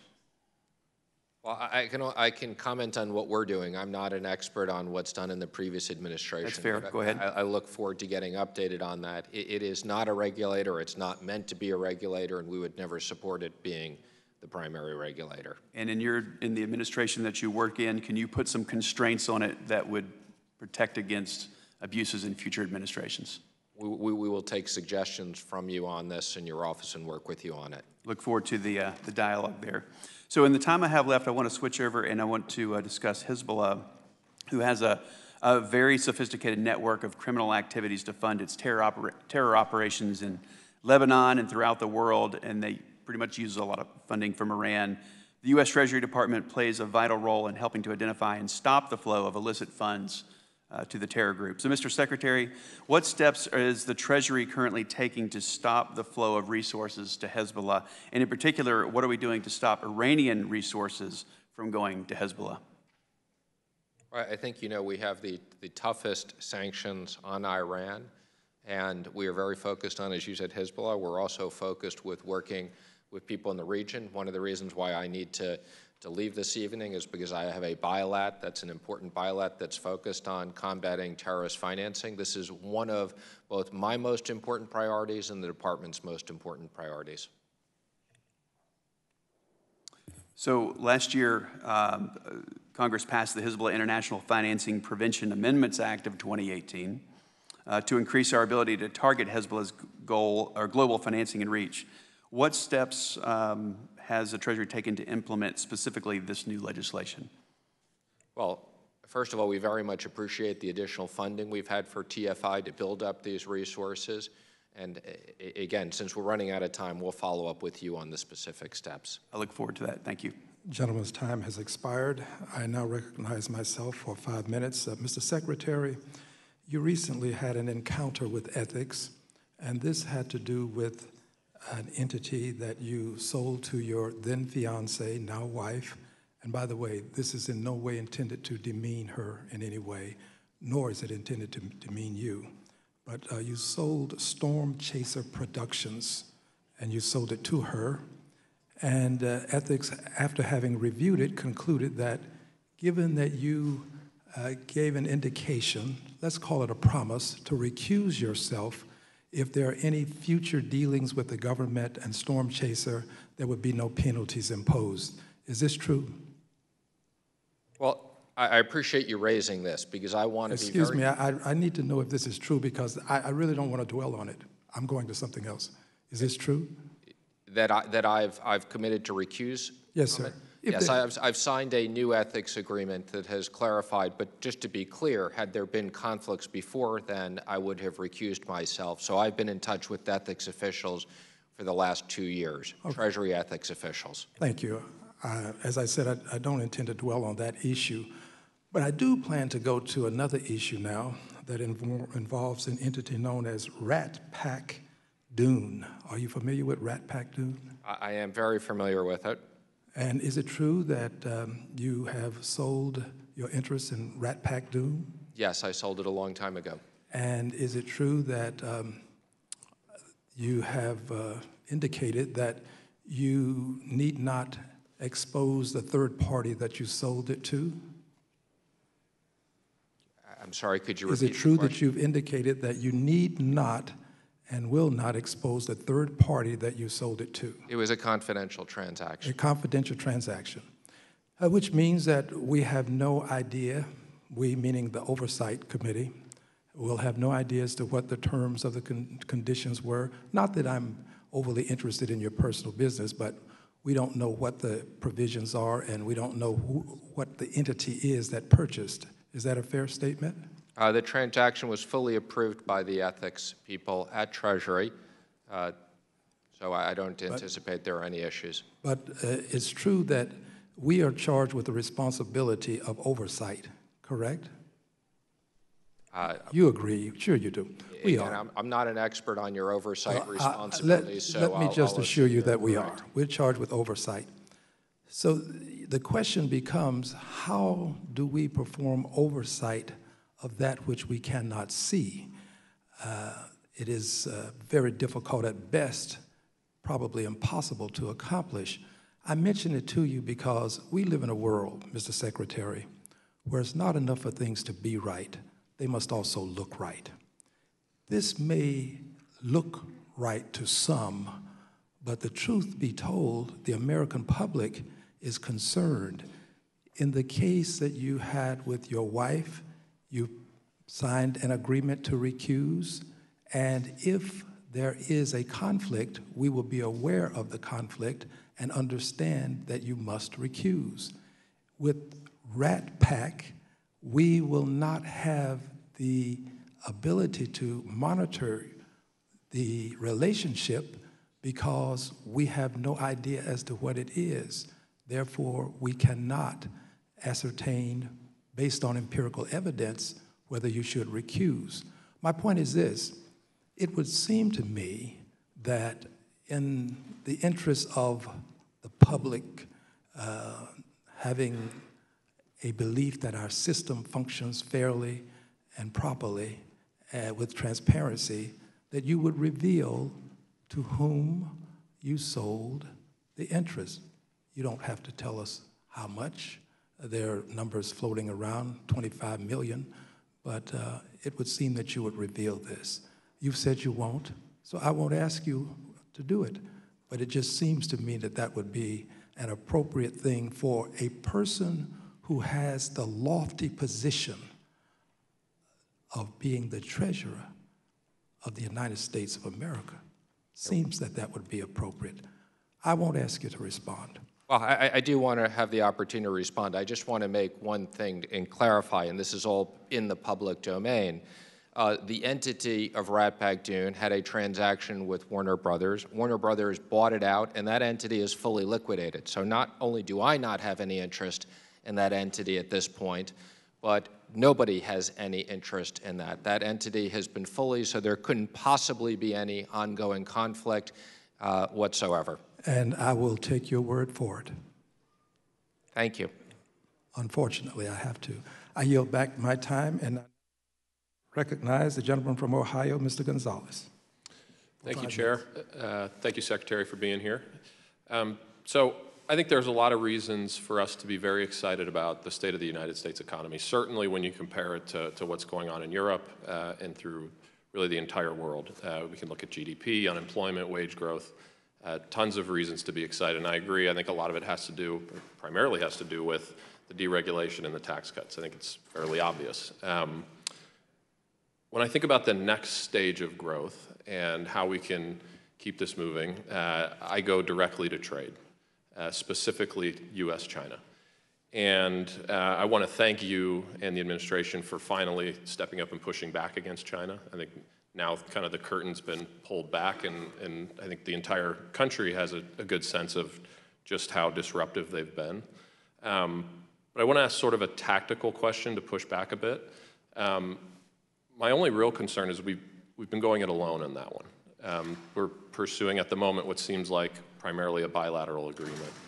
And I guess I would eh, like to hear your perspective on why we've chosen bilateral versus partnering with some of our other allies, um, and if there is a plan to, to do that, because it strikes me that that would be a more forceful and pot potentially durable uh, front. Well, we do talk about these issues of China trade at the G7. It's something important. Having said that, uh, you know, we've been unsuccessful for a long time doing this on a multilateral basis. Um, I think we are making a lot of progress. Uh, Ambassador Lighthizer is doing a terrific job with everybody at USTR. I have a call with him tonight with the Vice Premier. And as we've said, we're making progress. If we are able to conclude this, these will be the most significant structural changes that have ever occurred. If we're able to conclude this, there will be an enforcement that's very important to this. There'll be an enforcement department built under the vice premier. Uh, so we still have significant issues, but this, this will be one of the biggest accomplishments for U.S. trade, U.S. companies, U.S. workers if we're able to open up their markets on a fair and level playing field and get structural changes. Yeah, I, I completely agree. And like I said, I, I applaud the effort. Uh, hopefully don't, don't mistake my comments for suggesting otherwise. Um, you touched on uh, the enforcement piece uh, and again, I saw last week China decided or said that they would shut down their fentanyl factories. Obviously, I'm, so I'm from Northeast Ohio. Fentanyl opiate's been a huge challenge for our community. Um, that's an in- incredible promise. Uh, the next question is on the enforcement.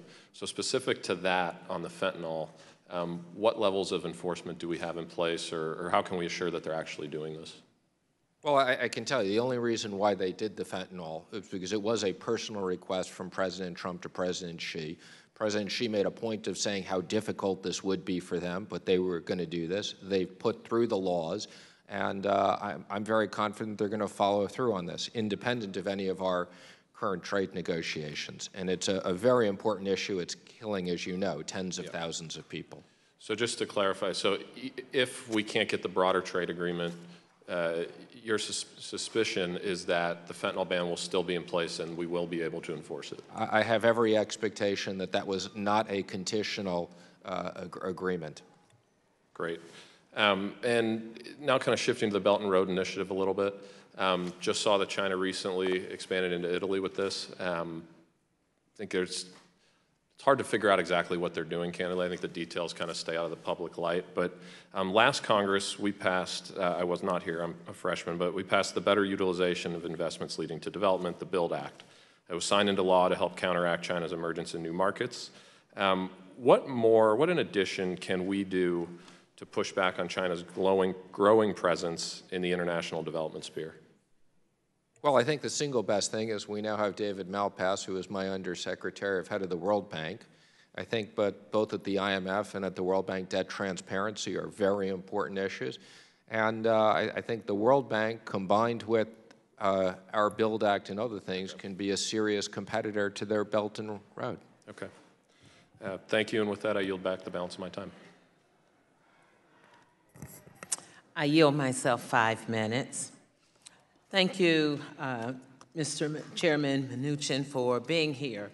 As I was uh, reviewing your statement in paragraph four of your statement, you note that opportunity zones are a key component of the Tax Cut and Jobs Act. You also say that opportunity zones will offer capital gains tax relief for investments in businesses in distressed communities. So I would like to know, when is that going to happen? How much, how many dollars will be put into distressed communities? And how will you deal with to protect and assure us that we won't have gentrification uh, in these communities? So uh, when it's going to happen, it's, it's already started. People have already started creating opportunity zone funds. Uh, we've put out some regulations. We're putting out more regulations. We hope to get those out within the next few weeks. They're critical to create certainty. Where are some of those that are already in existence? Where, where are where are the dollars? What communities? What states? when Do you I- have I- any in I was saying- Columbus, Ohio? I I was saying the funds, the funds have started. So the, the capital formation has started. Uh, many of the investments are, are waiting for the regulations, which I said we hope to have out in the next few weeks. Um, in regards to how much from commitments that I've heard people make, I could extrapolate. I think this is going to be over $100 billion. And uh, the issue of gentrification is something we're going to have to monitor very carefully and will be part of the reporting process. So you will be able to put in writing to me how we would make sure uh, that we don't take these minority or urban communities and then all of the dollars and change them where those individuals no longer have a place to live? Absolutely, and we look forward to working with you in your office on these issues. Uh, our- objective is to create more jobs, more opportunities in, in those communities, not to change them. Okay, let me switch to another area that's of interest to me. And, and also in your testimony earlier, you used language to eliminate poverty and to talk about growth. I make that a direct connection. As you'll recall, when you were here uh, last year, I asked you about OMWI, Office of Minority Women and Inclusion. And, and you didn't do so well if I was grading you with a test score. Uh, you didn't know who your OMWI director was. You didn't have a lot of information to offer me about OMWI. So now, can you tell me who your OMWI director is? Ken, and, and I, I want to thank you because uh, you did point this out to me. Lorraine Cole, I meet with her on, on a monthly basis. Um, I go through the reports. Uh, I appreciate the importance of this, and thank you for bringing this to my attention last year.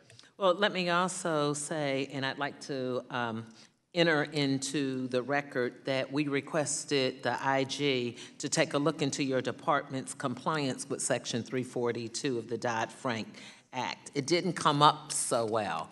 When I read the report, the IG, uh, the Inspector General, found that the OMWI at your department will not likely be able to fulfill its responsibility at the same level as the other OMWIs in the other regulatory uh, offices because of insufficient staffing. I asked the same question to the new director of the CFPB last week, and it was a yes or no question. Will you put enough money in there to maintain Dr. Cole and to give her the appropriate staff as Section 342 uh, states? It's a yes or no.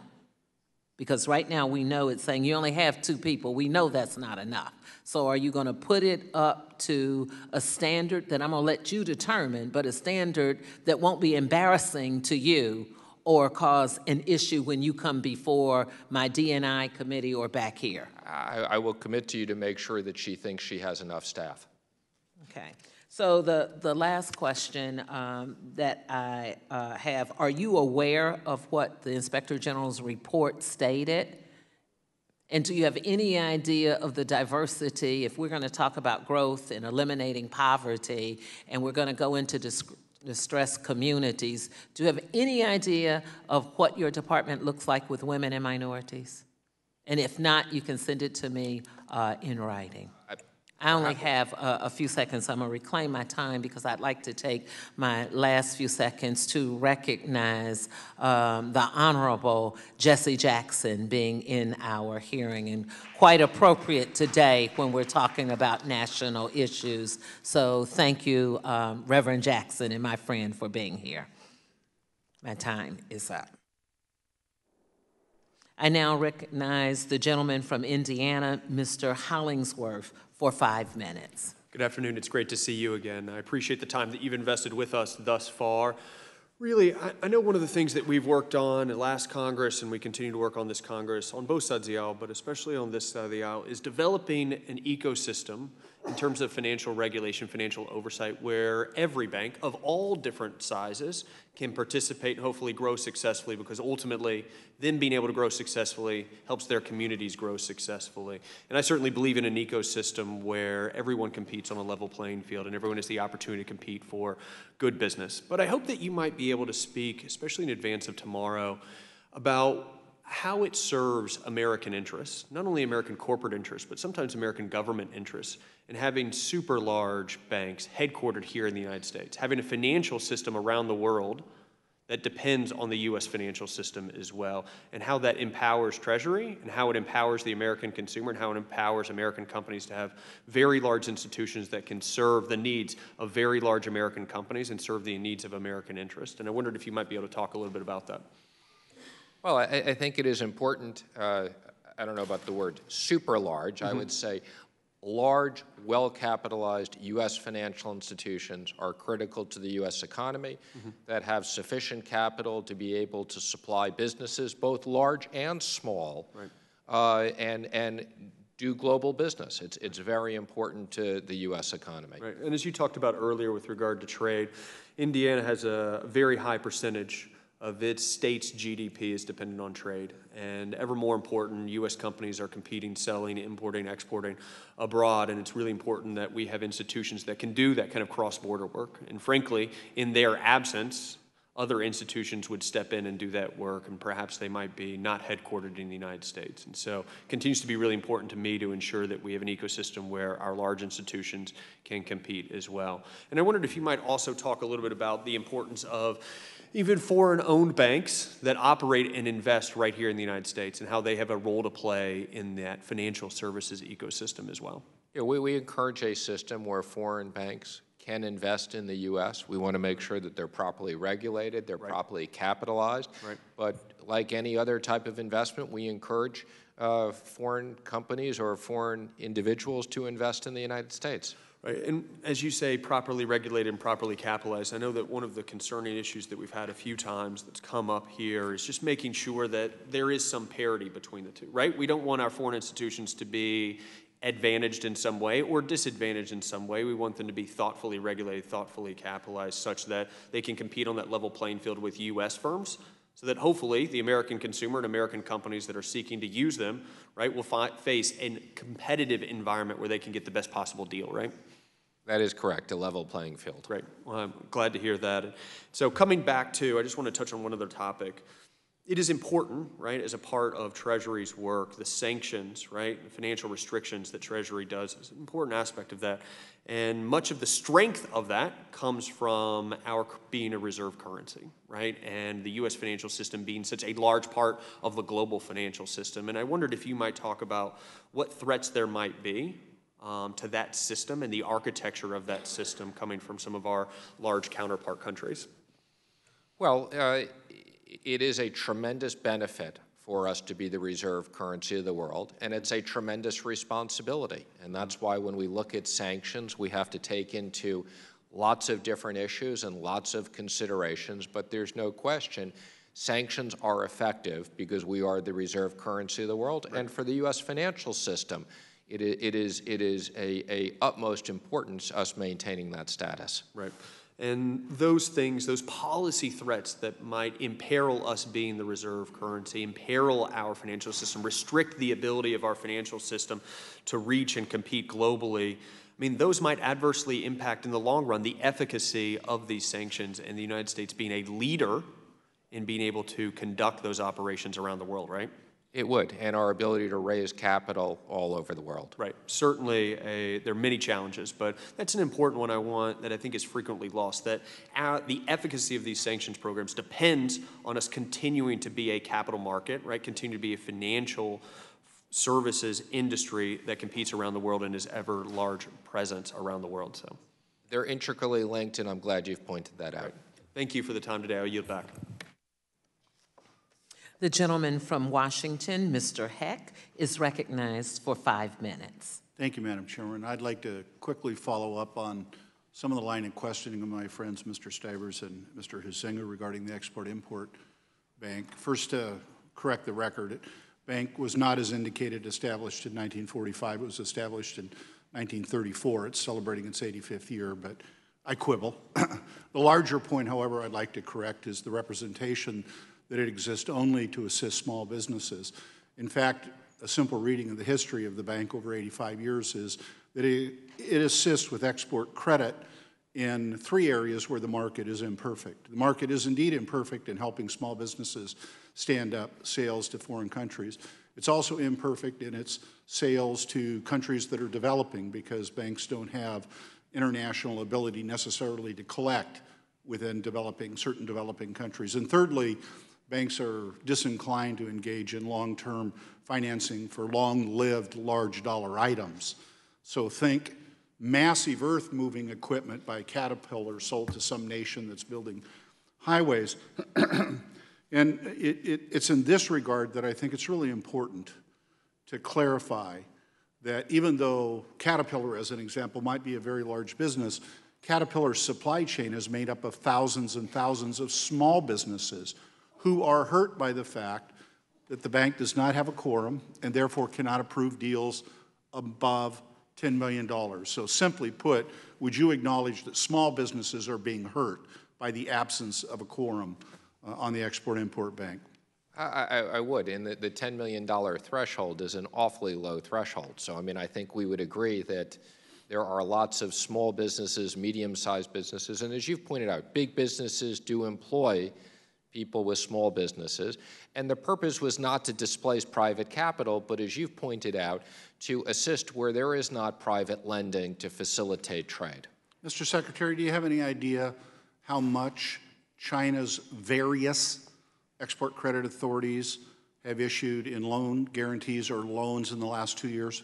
It's enormous and multiples, multiples of anything we would do, no matter what we ended up doing with the export import. Would it surprise you to learn that they have issued uh, more credit in the last two years than our Export-Import Bank has in its entire 85-year history? That would not surprise me. So would you acknowledge that in this era where China is emerging as clearly uh, a highly competitive long-term strategic competitor that utilizes whole of government means to achieve their uh, purposes, that we would be well served by having a fully functioning export-import bank as one of the arrows in our quiver in which to compete with them? I can tell you that the President and I and others in the administration think this is very important, and I would hope whatever issues there are, we can figure this out on a bipartisan basis and whatever reforms.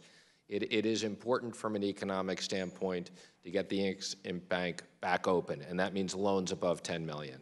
You have any idea why we call it the Export-Import Bank when it doesn't do any import business whatsoever? I'm sorry, what was that? Do you have any idea why we call it the Export-Import Bank when it doesn't do any import business whatsoever? I don't know the history of that. So I want to shift to the proposal by the administration to reform uh, the government-sponsored enterprise. The President's obviously directed you and Secretary Carson to come forth with a plan to reform uh, Fannie Mae and Freddie Mac and also laid down some benchmarks by which that proposal would be measured. I'd like to respectfully suggest the addition of two uh, more benchmarks. The first is predicated on the clear evidence that we have a shortage of homes in this country.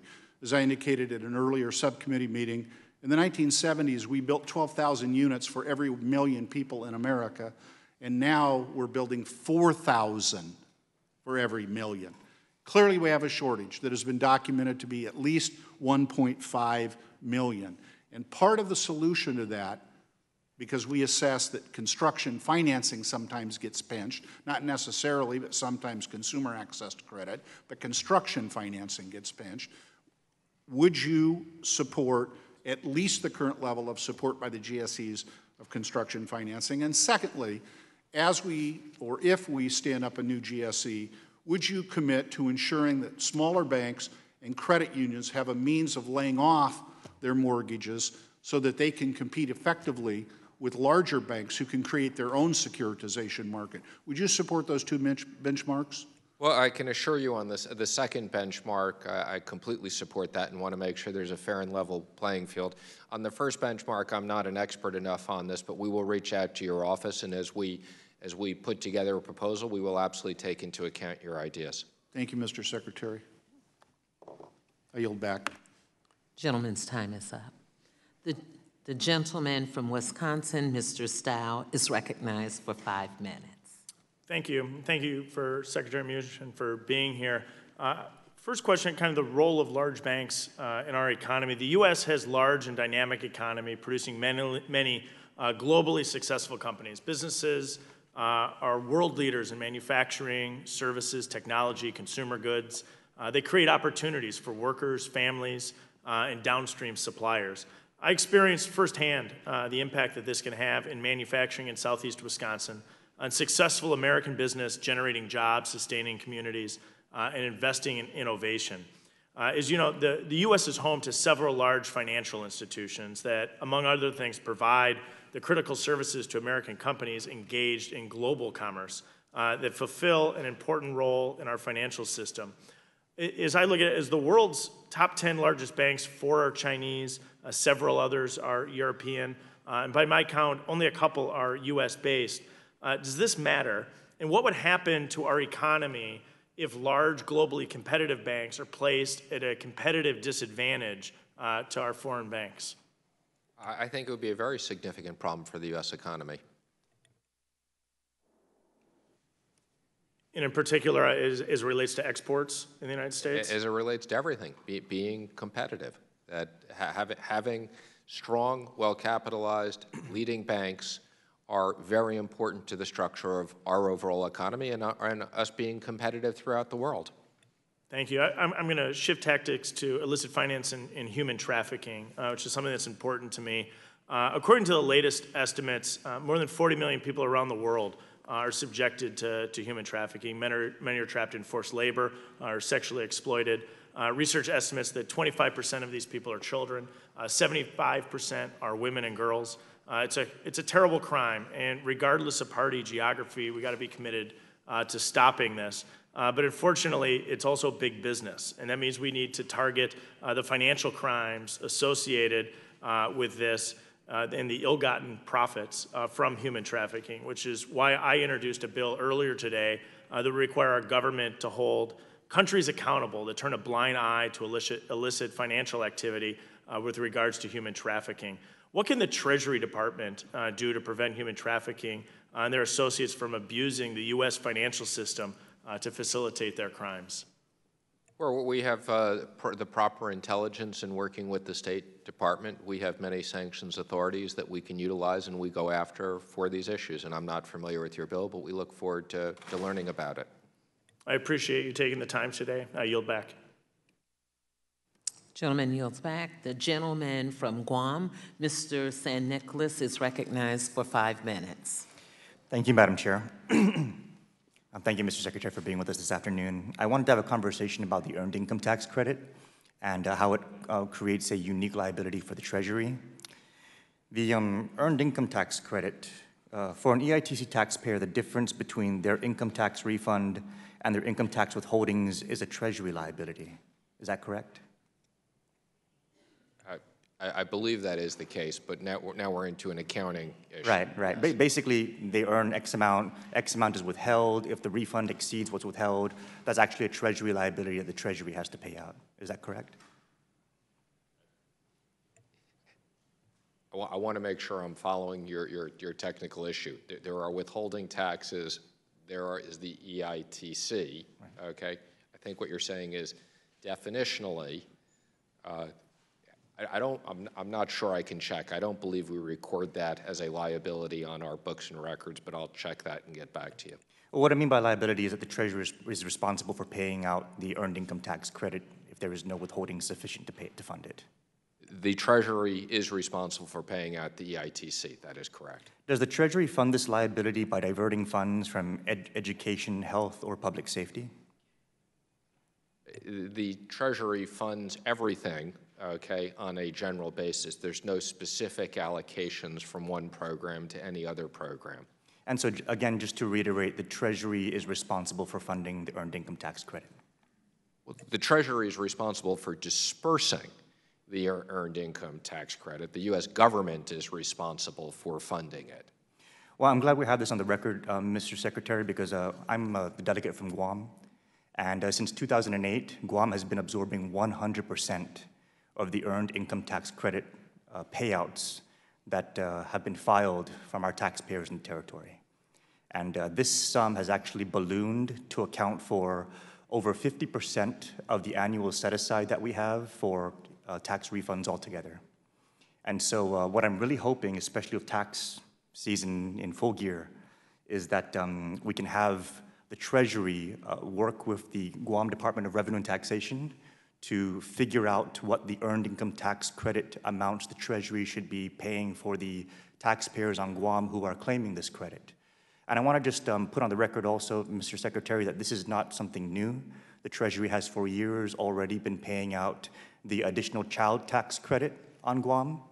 And so, in order for us to be consistent with the Treasury funding the ACTC, uh, I, I humbly ask the Treasury also do its part to fund the EITC on Guam. And uh, this, is, this is very critical, Mr. Secretary, for a variety of reasons.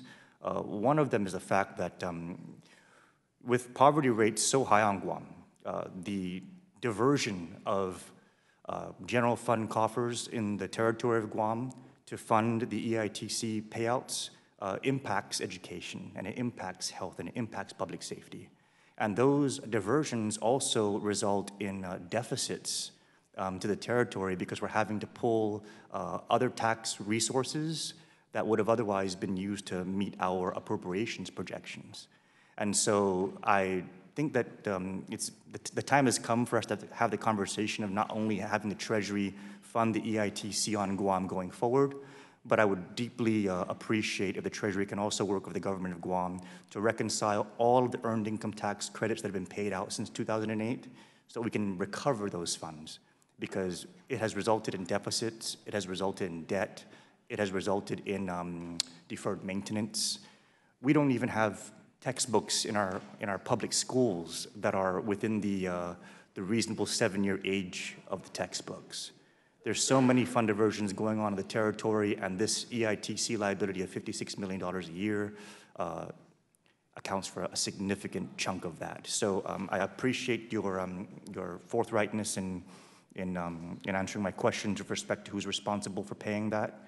And uh, I look forward to the Treasury working with the territory of Guam to making the territory whole. And and let me just comment, uh, I I am aware of Guam has some highly technical tax issues. I've actually met with the governor last time he was here with the Office of Tax Policy. We'd be happy for you to come in also on this, so please follow up with my office on these specific issues. I I know there's this and a bunch of other technical issues we've been trying to help on. I, I just want to zero in on this. Thank you, Mr. Secretary. I yield back, Mr. Chair. The gentleman from Kentucky, Mr. Barr, is recognized for five minutes. Thank you, thank you, Madam Chairwoman. Mr. Secretary, in the last Congress, I was pleased to chair the subcommittee that oversaw the development of the Foreign Investment Risk Review Modernization Act, or FIRRMA. I appreciate your support of that effort. I later served on the conference committee that negotiated the FIRRMA provisions that the President signed into law.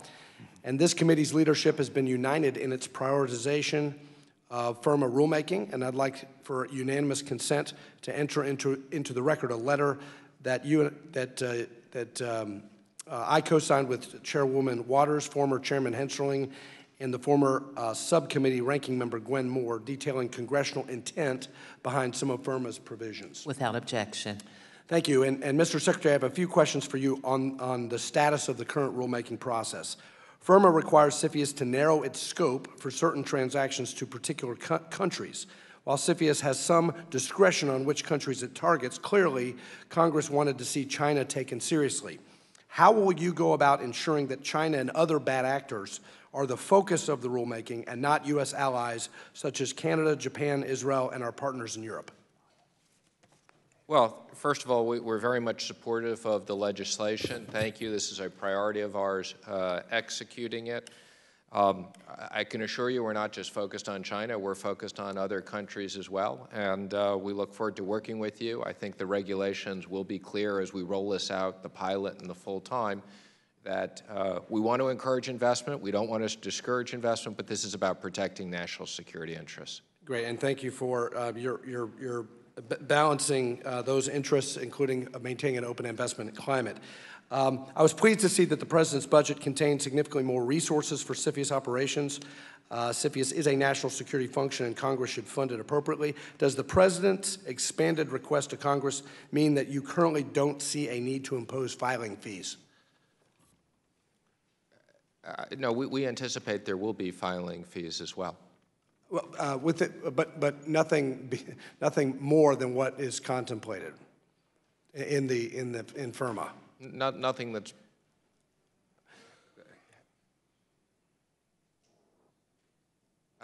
I, I believe it's in our budget. Uh, It takes into account the new filing fees, but we'll follow up with your office on it. Thank you. I think, I think you'll find the filing fees will, will be reasonable. Thank you. And Mr. Secretary, I was encouraged to see uh, the administration announce its designation of the Islamic Revolutionary Guard Corps as a foreign terrorist organization. Uh, the IRGC and the Quds Force have been responsible for the deaths of numerous Americans abroad, uh, and were even behind the planning of an attempted bombing attack right here at our nation's capital. In what ways will this designation restrict IRGC financial activity that previous executive orders and the Countering America's Adversaries Through Sanctions Act did not? And what role will Treasury have in these restrictions? Well, Treasury's been very involved with the State Department on this in the interagency basis. It's something that we think is very important. Um, from a financial standpoint, we've already had financial sanctions in place. This puts in other restrictions to restrict people both in entering the country and doing business and other things. So this is this is even stronger sanctions that will be in place. I I applaud the administration's designation, and, and I know Treasury is going to have an important role to play in impl- implementation. Finally, um, you had um, uh, mentioned your interest in commenting on the leverage loan uh, issue. Obviously, leverage lending is increasing. Uh, 75%, I think, is estimated uh, through non-bank firms. But as I understand it, nearly 70% of U.S. companies are non-investment grade. And aren't leveraged loans simply loans to well-known non-investment grade companies like Dell, American Airlines, Burger King, Cablevision, Sprint, Hilton Hotels that permit these companies to grow, thrive, and hire American workers? And if these loans were shut off, wouldn't it be very bad for the companies and their employees along with the broader U.S. economy? Uh, That's true. Leverage lending is a very important part of the economy. We are working at FSOC and studying the leverage lending issue, just because people have raised this to make sure there are no problems, uh, but it is something, something we're on top of. And I know you recognize that if the economy does have a downturn, prices will drop and certain types of high-yield debt will be difficult to refinance. But um, uh, in a November uh, uh, 2018 speech referring to elevated business bankruptcies and outsized losses, uh, Fed Chairman Powell said such losses are unlikely to pose a threat to the safety and soundness of institutions at the core of the system and are likely to fall on investment vehicles like CLOs with stable funding that present little threat of damaging fire sales. Given that CLOs pr- provide long-term capital not subject to the short-term redemptions or outflows we've seen in retail and institutional credit products, do you believe, unlike some of the current re- rhetoric in Washington today, that CLOs can represent a vital source of liquidity to the, to the below investment grade companies? I, I do indeed, and that's one of the reasons we're comfortable. A lot of the capital has moved out of the banking, the regulated banking sector, into CLOs, which are permanent capital vehicles. Right, and they've performed very well over their 30-year history, uh, including during the financial crisis. Gentleman's I yield time back. is up. The gentleman from Illinois, Mr. Excuse me, Casten, is uh, recognized for five minutes. Madam Chair, excuse me for one second. I don't mean to be disrespectful, but we had an agreement that I was going to leave here at 5 o'clock. I have a very significant bilat. It would be embarrassing. Now, I will tell you, in the last six years, there's never been a Secretary of Treasury who sat for more than three hours and 15 minutes. So uh, I, as a courtesy, am happy to stay till 5:15, but it would be very embarrassing to a foreign government if this committee expected me to not show up for that meeting. Mr. Secretary, I thank you for that, but if we still have members here with questions, and we have members on both sides who too have uh, prepared for these questions, would you be willing to come back to the committee in May? I'd always be willing to come back to the committee. I, I look uh, forward to working with Chairwoman Waters on an, an appropriate time to make So sure. you would commit to coming back in May? Absolutely. I want to make sure the committee always has time to answer all their questions. Okay, thank you. If I am going to come back, though, I would, I would propose that we could break so I'm not late for this meeting. And, and if we continue and stop at your deadline, uh, would, if we need more than one hitting, one hearing, would you commit to coming back at least twice? I, I would do what previous secretaries have done. I can't see why it's not sufficient to come back. But again, as opposed to trying to negotiate this in this format, I have every aspect. I'd like to have a good working relationship with the committee, and uh, I look forward to answering all your questions. Thank you. The gentleman from Illinois, Mr. Casten, is I would, uh, recognized Madam for Chair. five minutes. Madam Thank- Chair, thank it- you, Madam- it- Madam Chair, uh, inquiry of the chair. Um, At this, at this point, there are equal numbers of questions asked by Republicans and Democrats. So if, if we're going to adjourn in five minutes, then we need to divide this remaining time between Republicans and Democrats, just to be fair, under our committee rules. I have no problem. I have no problem. We've been doing that the entire time, going from Democrat. It's 5:10, and so five more minutes is taken, and the secretary has to leave in five minutes. So That then, would be the un- question will go to uneven. the secretary to stay for one Democrat and one Republican. The gentleman from Illinois, Mr. Casten, is recognized for five minutes. Thank, thank you, Madam Chair. Thank you, Mr. Mnuchin. I will try to be quick to respect your time. Um, Would you support a United States return to the gold standard? I would not. Good. Um, Do you agree with the President's recent call for a renewal of quantitative easing? I'm sorry, I didn't hear your question. Do you agree with the President's recent suggestions that we should renew quantitative easing? Uh, In, in my role as Treasury Secretary, it would be inappropriate for me to make specific comments on what the Federal Reserve should or shouldn't do. Um, Okay. Uh, From significantly expanded deficit spending to significantly expanded borrowing, we are pursuing a very expansionary policy since the 2015 tax cuts, in spite of rising GDP and falling unemployment. As a general matter, do you support the, the pro rather than counter-cyclical fiscal policy we've been pursuing relative to the larger economy? Um, I- don't think you can put all fiscal policy the same. I support the tax cuts, and I stand by, I think this will create growth that will pay for it. But we also had significant government spending on top of that, and we've got to be careful because we can't spend the money twice. Um, Okay, the reason for my question is that, that I think this morning, the IMF cut the, the global gro- growth outlook to the lowest level since the crisis. Domestically, we're seeing an inversion of the, from the three months of the 10-year Treasury bonds, we're looking at an inverted yield, yield curve. How concerned should we be that we are, are approaching the next downturn? Uh, First of all, there's no question that growth outside of the United States, whether it be in Europe or China, has slowed significantly. As it relates to the inverted yield curve, I am not particularly concerned about the inverted yield curve at all. And from everything we see, uh, we see for the next two years still very strong, robust U.S. growth.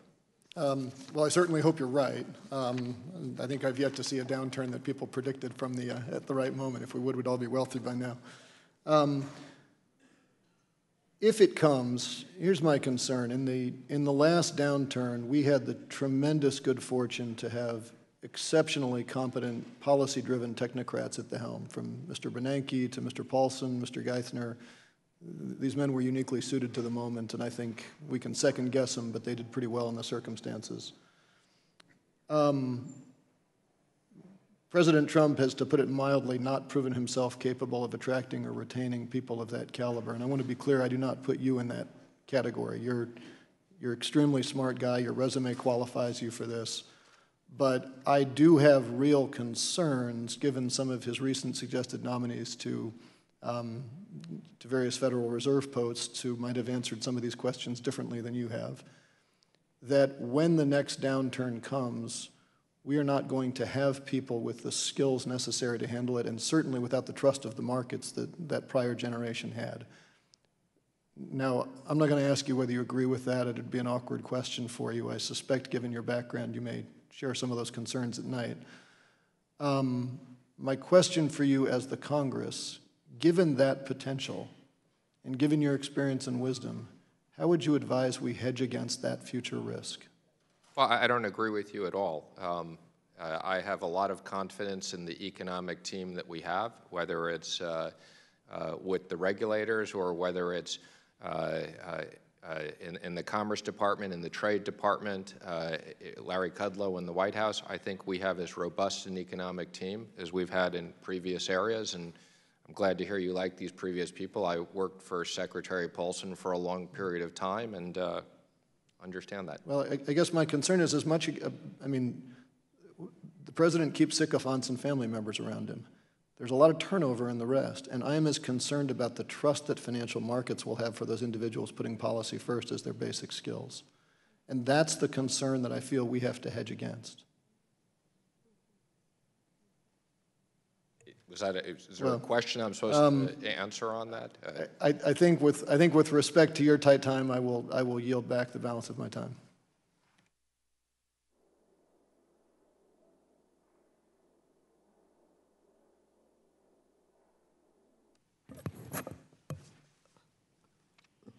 Who's next, please?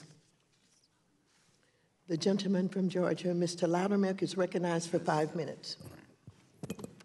Thank you, Madam Chair. Mr. Secretary, thank you.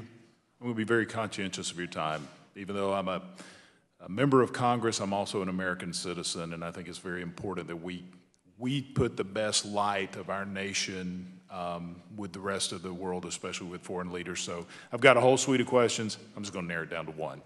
Um, it's, uh, uh, regarding NARA, you know, four years ago, we passed the National Association of Registered Agents and Brokers, was signed into law, and it's going to be stood up at the Treasury Department. But what's holding it back is that um, we haven't nominated a board of directors yet to be con, uh, confirmed by the Senate. They haven't been appointed.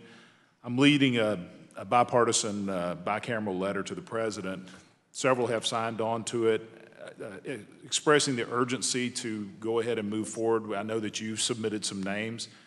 My question, can you please pass along to the president the urgency of getting this moving forward? Will do. Thank you, Mr. Secretary. I yield back the balance of my time.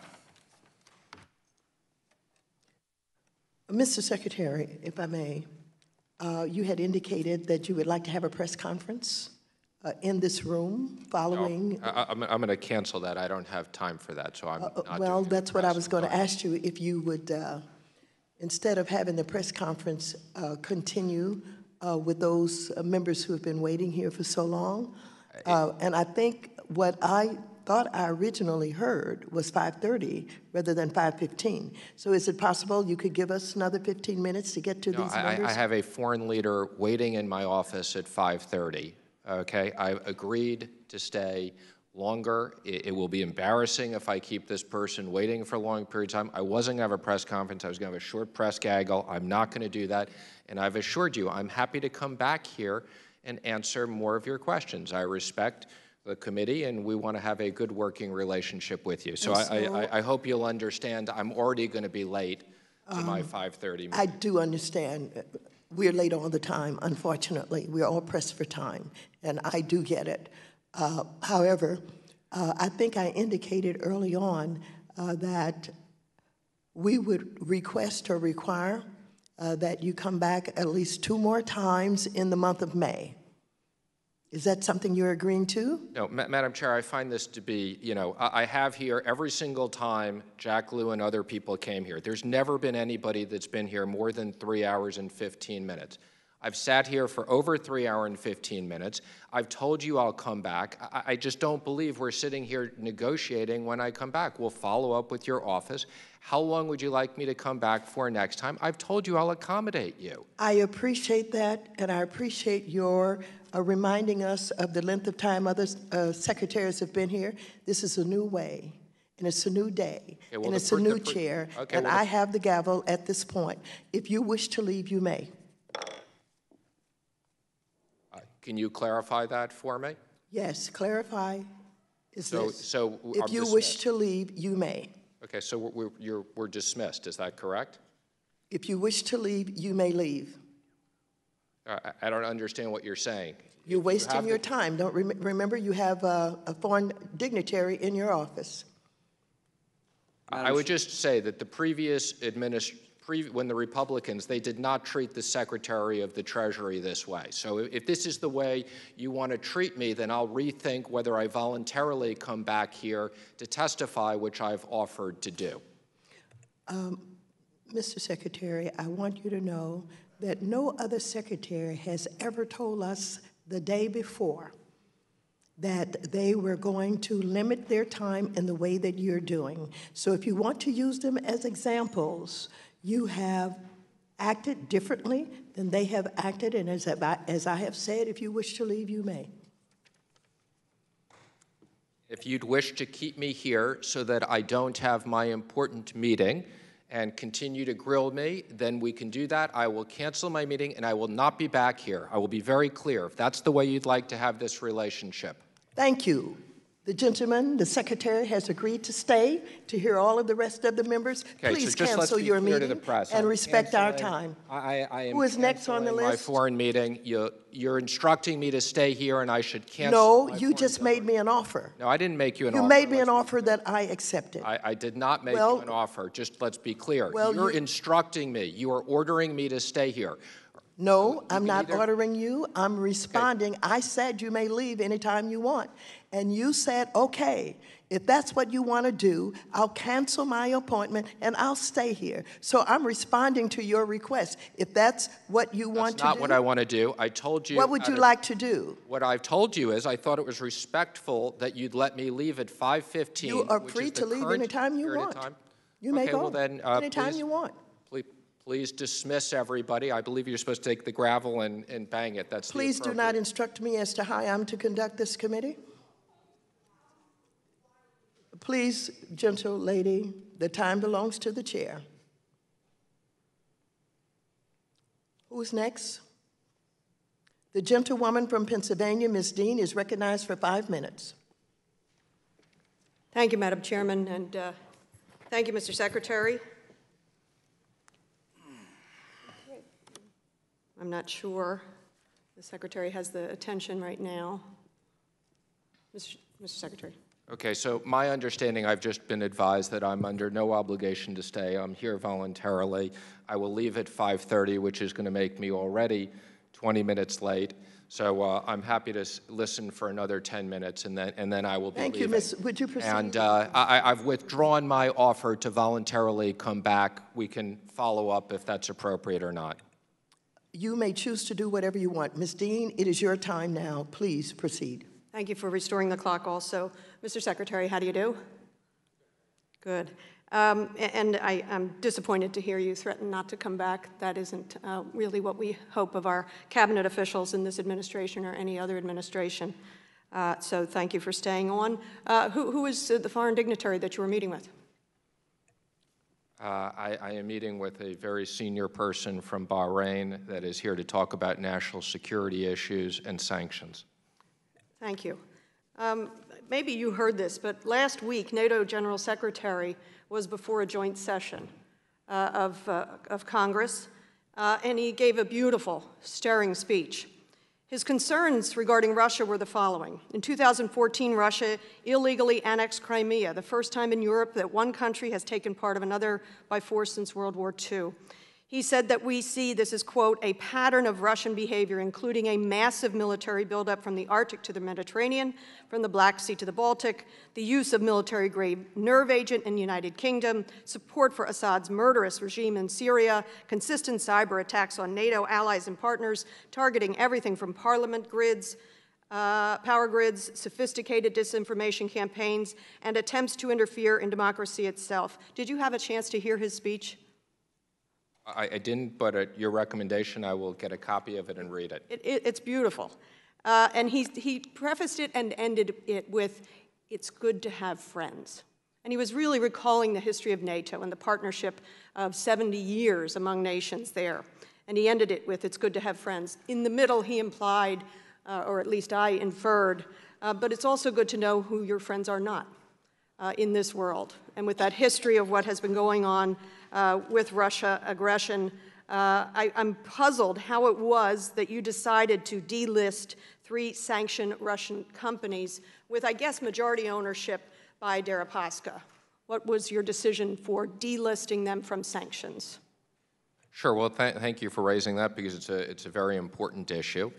Uh, first of all, uh, the important issue is we decided to sanction the companies, and I think in particular you're talking about Rusal and the related entities. They were all uh, a, a group of entities. Um, and we did that under the, the various different authorities that we had. Why did you delist them? I just, I don't want to go the whole history. Why did you delist them? We delisted them because the company approached us, not the oligarch. The company approached us.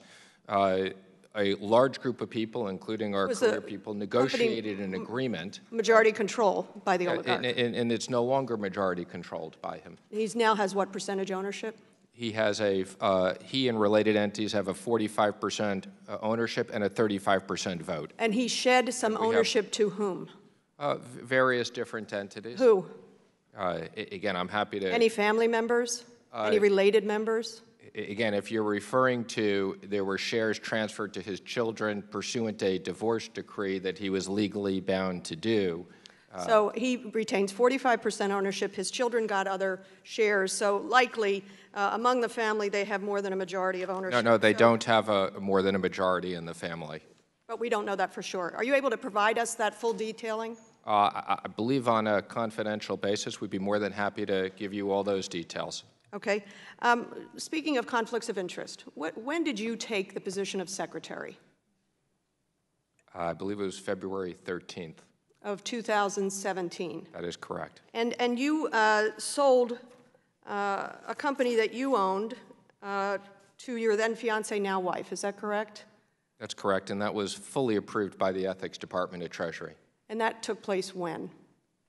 Uh, I I don't have the exact date, but I can After you assumed the secretary. Yeah, but, but that was, I was in my ethics agreement, I was given a certain amount of time to sell assets. That's, that was appropriate, which I, I did.